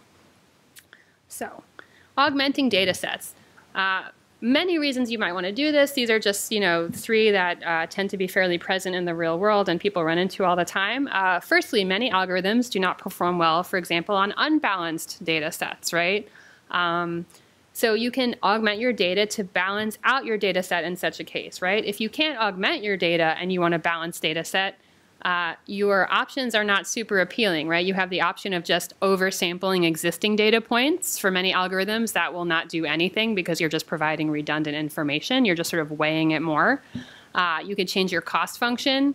That's sort of the same as oversampling, so it doesn't always accomplish very much. Or you can cut down on your more dominant class, and that's super unappealing, right? To when you're lacking data, why in the world would you throw out data, right? You certainly don't want to do that. Uh, so to the extent that you can find ways to balance a data set, create new helpful data, that's really good. Uh, another th- reason you want to augment data sets, especially for neural networks, neural networks are especially data hungry and they improve their performance dramatically with augmented data. Um, I'm particularly thinking of the case of image analysis, right, where you learn data augmentation almost as soon as you learn how to do any image analysis with a neural network because it is so helpful um, in improving your model performance. So you can think of this, especially in a neural network case, as a way to build in priors by introducing examples of how data can be modified but should have the same outcome. And we'll, we'll get to a slide where uh, we look at this, for example, with neural networks and imaging. And then finally, a third major reason you would might possibly be looking to augment your data, even if you have tons of data, is sort of privacy, ethical, legal restrictions on real world data. Uh, so people who work in the health field, for example, are quite used to having extremely restricted data. And this can be uh, quite a challenge because, on the one hand, you'd love to release your data uh, to the whole world, or at least to some very savvy pharmaceutical company and say, hey, I have had 100,000 cancer patients. Why don't you take a look at this and let's cure cancer already? Uh, which sounds great, except on the other hand, we don't want doctors doing things like leaking someone's HIV status, right? Which is how we ended up with these really restrictive health data laws, which seem very sensible. They just now are sort of running up against this whole, uh, you know, information revolution or whatever. So people are looking at ways of how can we release data, but also respect privacy and our legal obligations. Now, in the past, people have said, well, you know, you can just do things like remove the names and the DOBs and you should be fine. Uh, there's two problems with that, right? One is that sometimes you wonder if you are removing structure from that data that would be interesting, right? Sometimes privacy compromising information is also really helpful, right? For example, if I remove the names and addresses and dates of birth of my patients, I might, for example, miss the discovery of a cancer cluster that has to do with a certain town at a certain, you know, a certain decade. And so it's really a shame that I'd be missing that information. Uh, so I don't want to sort of remove that structure. And on the other hand, it turns out that even though you're removing structure, often you still have privacy leaks. So if you work in sort of a sensitive field like this, you're probably well aware of this, that you can easily violate someone's privacy having no intention to, because it turns out that you might release data that you think is de-identified, you think you took everything away, but if people have just a little bit of information about where your data came from and they have some other database, they can very often sort of join results. And this has been really embarrassing in a number of cases. Uh, for example, it turns out that some sort of fully sequenced DNA of human beings, their entire genome was released for researchers with the assumption that it's fully private uh, when this was released in the 90s, it was fully private. The problem is, is that some of these people who had their genome sequenced had cousins who did 23andMe or some of these other consumer uh, consumer websites. Some of those have data that has gotten out into the public, purposely or not, and people were able to match that up. So next thing you know, John Doe, we actually literally know his entire DNA sequence. I mean, talk about not having any privacy. Uh, so these things happen accidentally one way or another. To the extent that you can figure out methods to generate completely fake data that don't have data leaks, that's going to be amazing for not having to worry about this anymore. Now, that said, of course, you're never going to be 100% sure, just like everything you have to make sure you don't have the data leak. So the problem is transformed, but it's still the same problem of making sure as you make synthetic data that you're not actually leaking real private data. So those are sort of three augmenting data sets motivations. Uh, so the first technique, we're going to cover uh, sort of two case studies, and there are many more. We can't cover them all, but the First case I want to talk about is balancing data sets using SMOTE. So this was developed uh, 15, 20 years ago, but it continues to be very useful for the case of having data to classify where it is very imbalanced. So researchers have noted, as I mentioned, that things like simply oversampling with replacement of existing minority class data points did not improve model performance, right? Just by looking at the same few examples over and over again, your model doesn't get better, right? That's no different from sort of changing your cost function. You can do that, but it's got some limits. So they had the idea of generating synthetic data points by joining nearest neighbors of the same class and finding a way to project data onto those lines. So for example, um, if we look here, this is a plot from the paper, but say like uh, you can see the red dots are the minority class. So basically you would find two dots nearest neighbors, you would connect them, and then in that feature space, you would project to some random point between these two points, and that would be your new synthetic data. So obviously there are assumptions built into this, right? You're assuming that there is some sort of cluster structure underlying this, that the points between these class members are meaningful, right? If that doesn't describe your data, of course, you're not going to get better performance. But if it does, this can be a way to enhance your data that is not particularly computationally taxing and that's fairly transparent. Uh, so how do they do this? You basically look at your k nearest neighbors depending on how many points you're looking to oversample by. For example, if you wanted to oversample by 300% for some class, right, you want to get 3x the amount of data you have now, in addition, new data, you're going to draw a line between a data point and its three nearest neighbors and then sample once along each of those lines. So that's also really nice because you're getting sort of a spread, right? You're not just relying on one nearest neighbor, you're introducing more variation in your selection. Um, and this is, a, this is a way of building in those priors about the clustering. So let's go ahead and take a look at what this looks like. If we go to the notebook, this is the augmenting data notebook. So this uses a library called IMB Learn, Imbalanced Learning. So uh, you can pip install that or you can grab that from the GitHub. It's also a fairly lightweight library. Okay, so we're going to look at this on two data sets to just sort of get an idea of what it looks like. So the first data set uh, I'm using comes from the UCI uh, machine learning database, and it's a, a data set that's related to contraceptive methodology. So if we take a look at this, we've got a bunch of data about a bunch of married women, I forget in what country, uh, but what we see is we see that the sort of the choice of contraception is not uniformly even, right? We've got sort of three kinds, and one of them is about half of the dominant class. So we've, it's, you know, it's about 22% of the total. Uh, that's not wildly imbalanced, but I do worry, right, especially if I have some particular reason for wanting to identify uh, contraceptive use and get that really accurate. So one thing I can do is I can use a SMOTE object like this. I instantiate my object. And if we take a look at this object, we can see exactly um, what it's going to do. It's going to use a certain number of neighbors, namely five. We can set a random state and a sampling strategy. So first we're going to just generate our normal train and test data. If we do that and look at our test, we get one, two, three, and our test data, as I mentioned, was imbalanced, right? Just like our original data was imbalanced, our test data is imbalanced too. So let's go ahead and train a classifier if we train a classifier on this, we're scoring at about 51% accuracy. Not great. I don't, you know, having no prior on this data, I don't know how good that is relative to uh, optimum. But I can look at my confusion matrix, especially for this second class, right, which is the least represented. Um, and only about 35% of uh, the elements of that contraceptive kind are actually being classified correctly. So that seems especially poor, right? That's notably poor even relative to the overall accuracy. So one thing I can ask is, well, what if I resampled this with this SMOTE technique, right? What if I upsample to get more of these, which is as simple as taking this SMOTE object, fitting a sample of training data like this. And if I do that, let's first check what kind of shape I got, right? So first, what was my original training shape? Was 986. And after smote, it's 1269, right? So I've gotten myself essentially almost 300 free data points. So the first thing I want to do is kick the tires and say, well, did I get any decent data points? Like, or, or did this, is this actually just a random number generator with no sense? Uh, so my first exercise for you is I would ask you uh, to examine the underlying distributions of the features pre and post smote and see if you can tell a difference. What do they look like?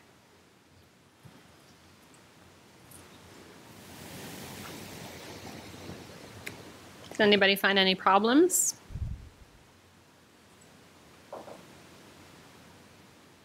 I did not either, but you know, there's there's always the possibility that you might. Um, in this case, if we look at, for example, the distribution of the number of children, this is the SMOTE data set for the three different kinds of contraception. Uh, we notice that these histograms seem to have three characteristic shapes. And if we look at these shapes for the original data, they are really remarkably similar, right? Uh, it's interesting, even sort of the micro features are captured in this histogram. So at least if I'm looking at univariate distributions, I feel fairly confident that this oversampling has not distorted this distribution notably. That's already really nice compared to if I had, you know, sampled sampled myself in some way I made up out of my head. I'm sure I wouldn't have gotten that right. So it seems like this underlying assumption of you can pick a point between two points and pick that too, and there's some sort of underlying cluster in this data seems reasonably true. Was there a question? Is there a question? Would this be kind of like how, um, like, like uh, a uh,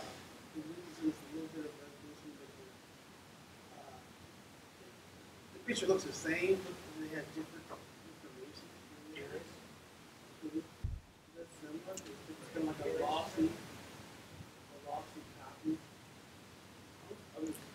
I, I think that's a good analogy, right? So the question was, is this in some way similar to um, blowing up or shrinking down an image, and, and what do you do to, to fill in those pixels? Um, and in some ways, I think it's analogous, right? At least when you're interpolating, there's the assumption that there's some kind of smooth underlying distribution. So that assumption is similar, yes, right? And that, that's just like with images, that's where it will do best. Okay, so the, the only other thing I'd point out is we'd probably also want to look at the two-dimensional distributions, right? So here I'll just, I do a scatter plot of age versus number of children. Uh, so in this case, I didn't do one per group, I just colored them according to group. Uh, another quick way to do a visual check. So here we're looking at our pre-smote data, and here we're looking at our post-smote data. And again, it's, it's sort of remarkably similar, even sort of down to individual dots and what color they are, they look really similar. So we see uh, because of this sort of feature motivated way of doing this, it also preserves those correlations between features really well. Um, that's interesting even when we revisit the idea, remember we looked at PyDBGen and we thought, well, how can we just, you know, write some janky function to do age and credit score and make them correlated? Um, this could be another way to do that is we could imagine we just start with some baseline real data and the way to generate new data to have an even bigger PyDBGen data frame would just be to sample with SMOTE or something like that to the extent that something like age and credit score is amenable to that. Now that wouldn't work for names and phone numbers, but for those sort of numerical valuable, va variables it would. Okay, so all we've, all we've determined so far is that SMOTE seems to leave our distributions undisturbed, which is what we want. We don't want to be introducing sort of new made up information into our data set. Okay, so does SMOTE actually improve the model? Uh, well, oh, this is SMOTE. Uh, it seems to improve in the sense of we have a much more balanced data set now, right? It's exactly balanced. And let's see, how does our classifier do now? So now our accuracy is up to 0.529 as opposed to 0.5112. Uh, so it seems to do slightly better. Now, how much better that is um, is also partly stochastic, right? Because these are random forests, so you wouldn't necessarily want to draw a conclusion based on this alone. We might also want to look at the confusion matrix. And if we do that, we also see that the percentage of the minority class that are now correctly classified has gone up from 35% to 42%. To me, that's actually the more meaningful improvement, right? The accuracy bit, that might actually just be random noise, and if I run this enough times, maybe it's a wash. But at least the percentage of the minority class that are accurately classified has gone up. So when would I want to use this? Maybe especially if my minority class is the most important, and we can think of plenty of cases of that, right? For example, I hope it's the case in hospitals that most people are not sort of mortally injured. But I would also hope that my machine learning algorithm is best at identifying those people, right? Because they are the most crucial for that task. So something like that, where the cost of a minority misclassification is really costly, and the thing that's most concerning to you is an example of where you'd want to use this. And as I was mentioning, this will do a lot better than just changing your cost function because you're providing genuinely new information to your algorithm. Okay, so as an exercise, I would ask you to repeat this with an even less balanced data set. So this is a bank marketing data set, also from the UCI archive. Uh, we'll just, uh, I provided the code to um, convert everything to numeric variables because a lot of it is in the shape of uh, categorical strings and such. But then I would ask you to run through, uh, run, run it through Smote and see if you think it actually improves the score in this case. So take a few minutes for that. Okay, so let's take a look at this one together. Uh, I use the same random forest classifier. In this case, I found that my confusion matrix indicated that I'm only classifying in my original model about 20% of the data properly. Um, that's not even doing so bad considering how imbalanced this data set is, right? We've got 40,000 no's versus only 5,000 yeses, so that's not actually that surprising. If we run it through Smote in this case, um, we now have more data. We score this, and actually we see that we take a huge hit in our accuracy, right? It's not like the last example where the accuracy was sort of the same, give or take. I've now gone from 80% uh, down to 70%. That's pretty terrible, right? Uh, and then what if I look at my confusion matrix on the other hand? I've gone from classifying just 20% of minority class, my minority class correctly, to classifying, let's see, 42% correctly. Uh, so this is one of these cases where it would require a lot of judgment and you'd really need to think about your institutional goals, right? So again, if I'm a hospital and I need to really find those minority of people who need urgent life-saving care, I'm probably going to go with this model, even though it means plenty of people with the common cold might you know, something unpleasant will happen to them, but, you know, in the grand scheme of things, it's not so bad. So this sort of technique and many sort of minority class oversampling techniques are appropriate for that. And you will sometimes take this accuracy hit, and that's where it's, you know, your discretion as a professional and your organization uh, has to think about how to do this. Okay.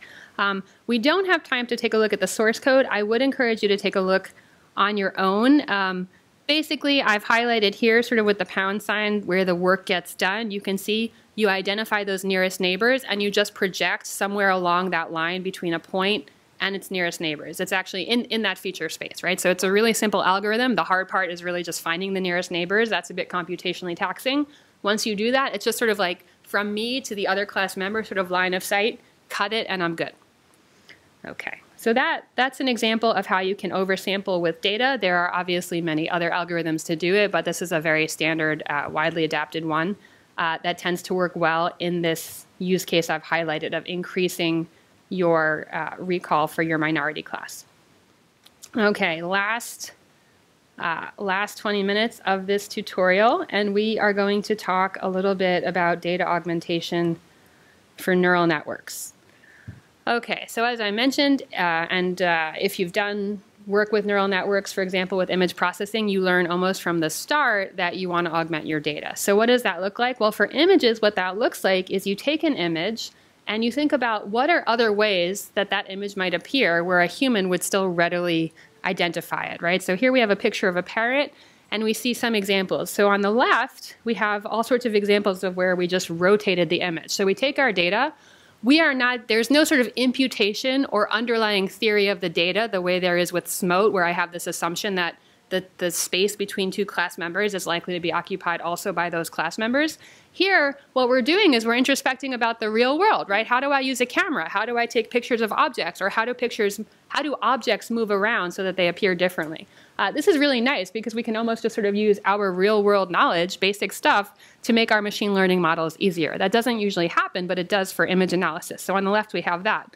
On the right, what we have are the sort of blurs we might do if we take a you know a really fast picture or we do something bad with our, our image processing but that also happens in the real world right? I'm, I'm taking a picture from my car and some aspect of it is blurred. Basically anything we can think of that happens to an image that's some kind of mistake or some kind of change in how something presents itself that our eyes can still digest is something that we expect a neural network to be able to handle right? So this is an example of we sort of introspect about the world and we can write all sorts of transformations that reflect the performance we expect and luckily with neural networks, it just happens, right? And this is sort of wonderful that our neural networks get smarter. The more we sort of tell it, oh, you should expect all these different changes in data, uh, the smarter the network gets and the better performance we get. Um, we can also do other interesting with things with neural networks. So they don't just benefit from inputs where we augment. They can also themselves create augmented data or synthetic data that we can use for other models. Uh, so this is a paper I was mentioning to someone during a break.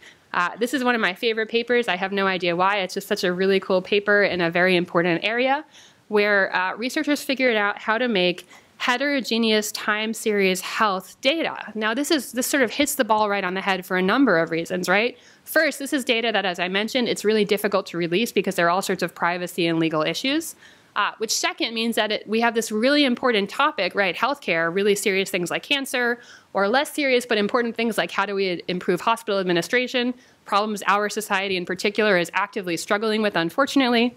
Um, how can we make data available to more people to study this? And so, one thing people realized is you could use this model of generative adversarial networks, which is when you have two models. One produces fake data, the other model tries to determine which is the fake data, which is the real data you sort of race them against each other. And what you hopefully end up with is a model that's really good at generating fake data that looks very real.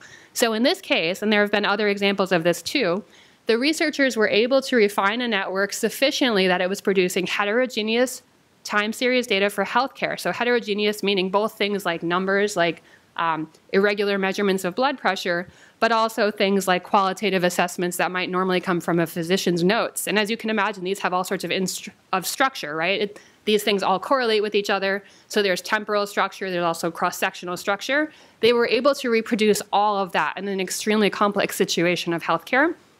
Um, and they were able to train then machine learning models on the synthetic data. And the machine learning models trained on the synthetic data did almost as well, but not quite as well as machine learning models trained on the real data, right? So this is pointing a way forward as far as respecting privacy, but also being able to make progress in this field. Uh, so neural networks benefit both from getting data, but then they can also produce data, which can either be used to train another neural network or some other sort of model. Um, you can also use your neural networks to uh, discipline or you can use data to discipline neural networks so that they do even better than a human does, or they do better even in sort of unfair situations. So this was another recent paper that came out. Uh, and here the researchers said, well, why are we using synthetic data in just sort of the obvious ways of jittering images and rotating them? Yeah, sure, that's, that's fine, but we've sort of hit a wall. We want to get even better we want our neural networks to be able to identify a car even when it's floating in space, right? Because a human can do that. We watch movies and see sort of improbable things and can still identify them. So, how do you get a neural network to do it? You give it those sorts of improbable backgrounds. So, once it's sort of trained up on reasonable real world data, you start throwing more challenging examples. Now, since those challenging examples are not naturally occurring, you augment your data set, but in this case, you augment it deliberately with pretty crappy data because you say, oh, now that you've been trained up on good data, I'm going to raise the bar, give you really bad data, and still expect good performance. So that's another way you can see data augmentation used with neural networks to really up, um, up the performance level of neural networks by sort of this two-tiered training of first good data and then deliberately bad augmented data.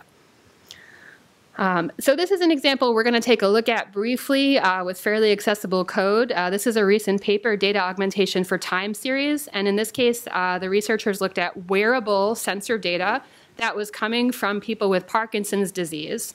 And they were looking to do various diagnostics with neural networks on this time series data.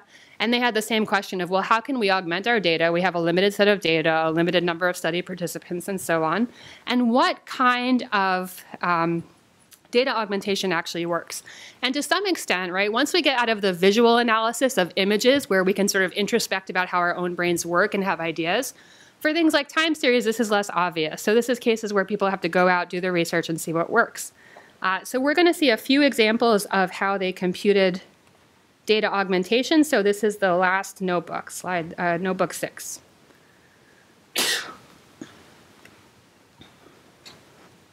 Okay, so we're going to load the data, which was downloaded from um, that study's GitHub, which is also cited there. You can see it. If we look at the shape, they've actually only given us sort of um, three sample curves. So we're going to think, well, what can we do with these sample curves? What would be some reasonable things to keep, preserve the nature of the time series, but make it different enough that there are things to learn from? So the first thing they found was just adding jitter was a very useful augmentation strategy. So just take a minute and uh, code up that function to add some jitter to these time series.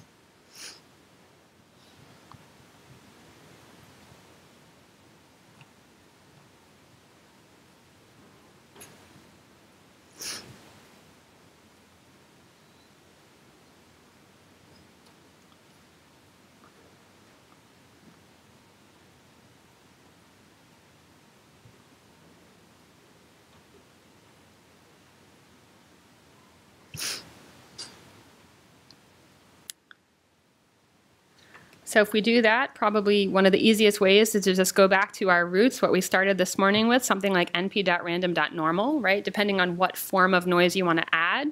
In this case, they, they added Gaussian noise, but something you could ask experimentally is what if I use non-Gaussian noise? What if I use something that's uniformly sampled or sampled with some kind of skew? Does that also serve as productive data augmentation or does that tend to be kind of distracting? And you could contemplate, well, maybe that could be my second round, right? Just like we saw that research paper where first you use good images and then you start giving it more challenging augmented data, that's something you could explore here. Okay.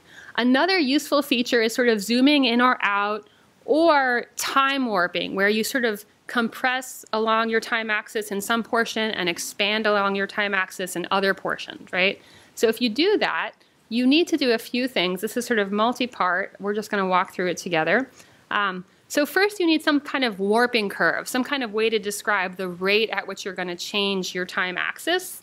In this case, I have just made that a sine curve. So in this case, I'm going to make time pass quickly, quickly, and then slowly, slowly. Um, how do I relate this sine curve to my indices though, right? How do I now get this to that temporal axis? I have this function distort time steps where I basically I take the cumulative sum of these and I map this to my indices. So just like my indices are 3600, I make sure that the indices here go from 0 to 3600.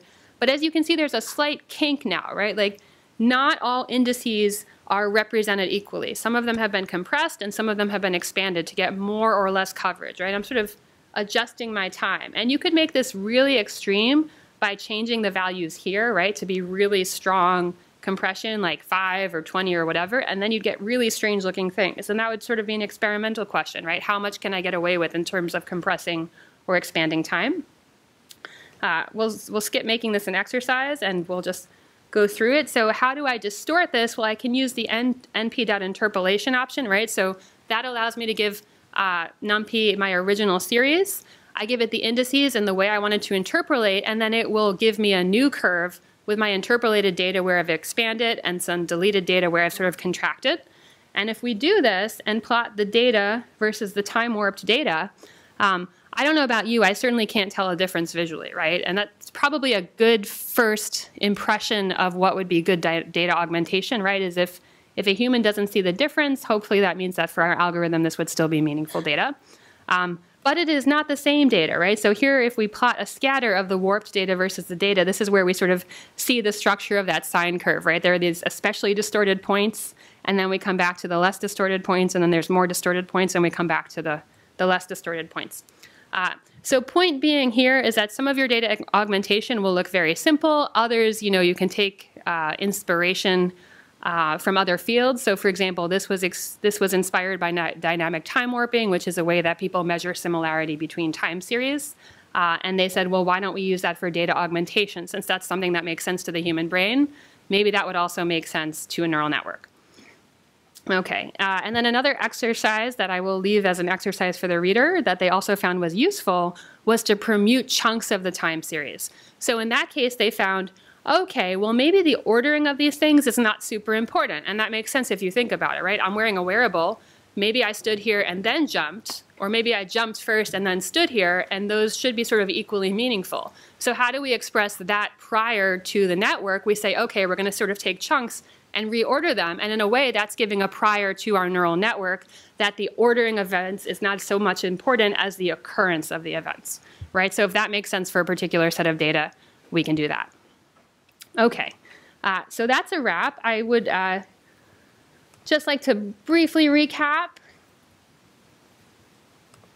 uh, just thinking about what we've done and thinking about where you can go from here. So, just as a reminder, what I think is really cool is how much you can build up just from really the hard problem always is just how do you get the random numbers in the first place? And really everything after that is easy. So, getting the random numbers is incredibly hard. Luckily, that's basically a solved problem, especially because we're not cryptographers, we're data analysts, we're good to go. Um, once you do that, you can do all sorts of cool things, right? So what people do most of the time and you have most resources on is how do you simulate from sort of weird statistical distributions, right? Very computationally taxing, but kind of a solved problem. What are some problems that, that need a bit more solving and where maybe we can contribute something to the open source community? Something like simulating more human-oriented data, simulating things like names and street addresses, right?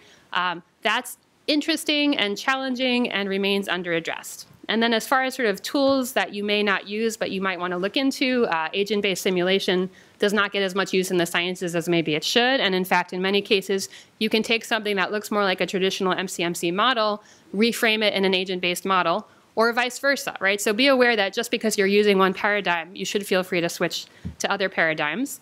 Um, and then finally, augmenting data sets is an old science, but it's definitely getting a lot more play now with neural networks. So uh, there's a lot of research going into this. It's sort of an exploding area of expertise uh, and something where we're likely to see new developments. So I'd encourage you to keep following that, especially if you regularly use deep learning. Okay, so thank you everybody. If you have corrections or comments, I'd love to hear about those either on Slack or by email. And otherwise, I hope you have a great conference.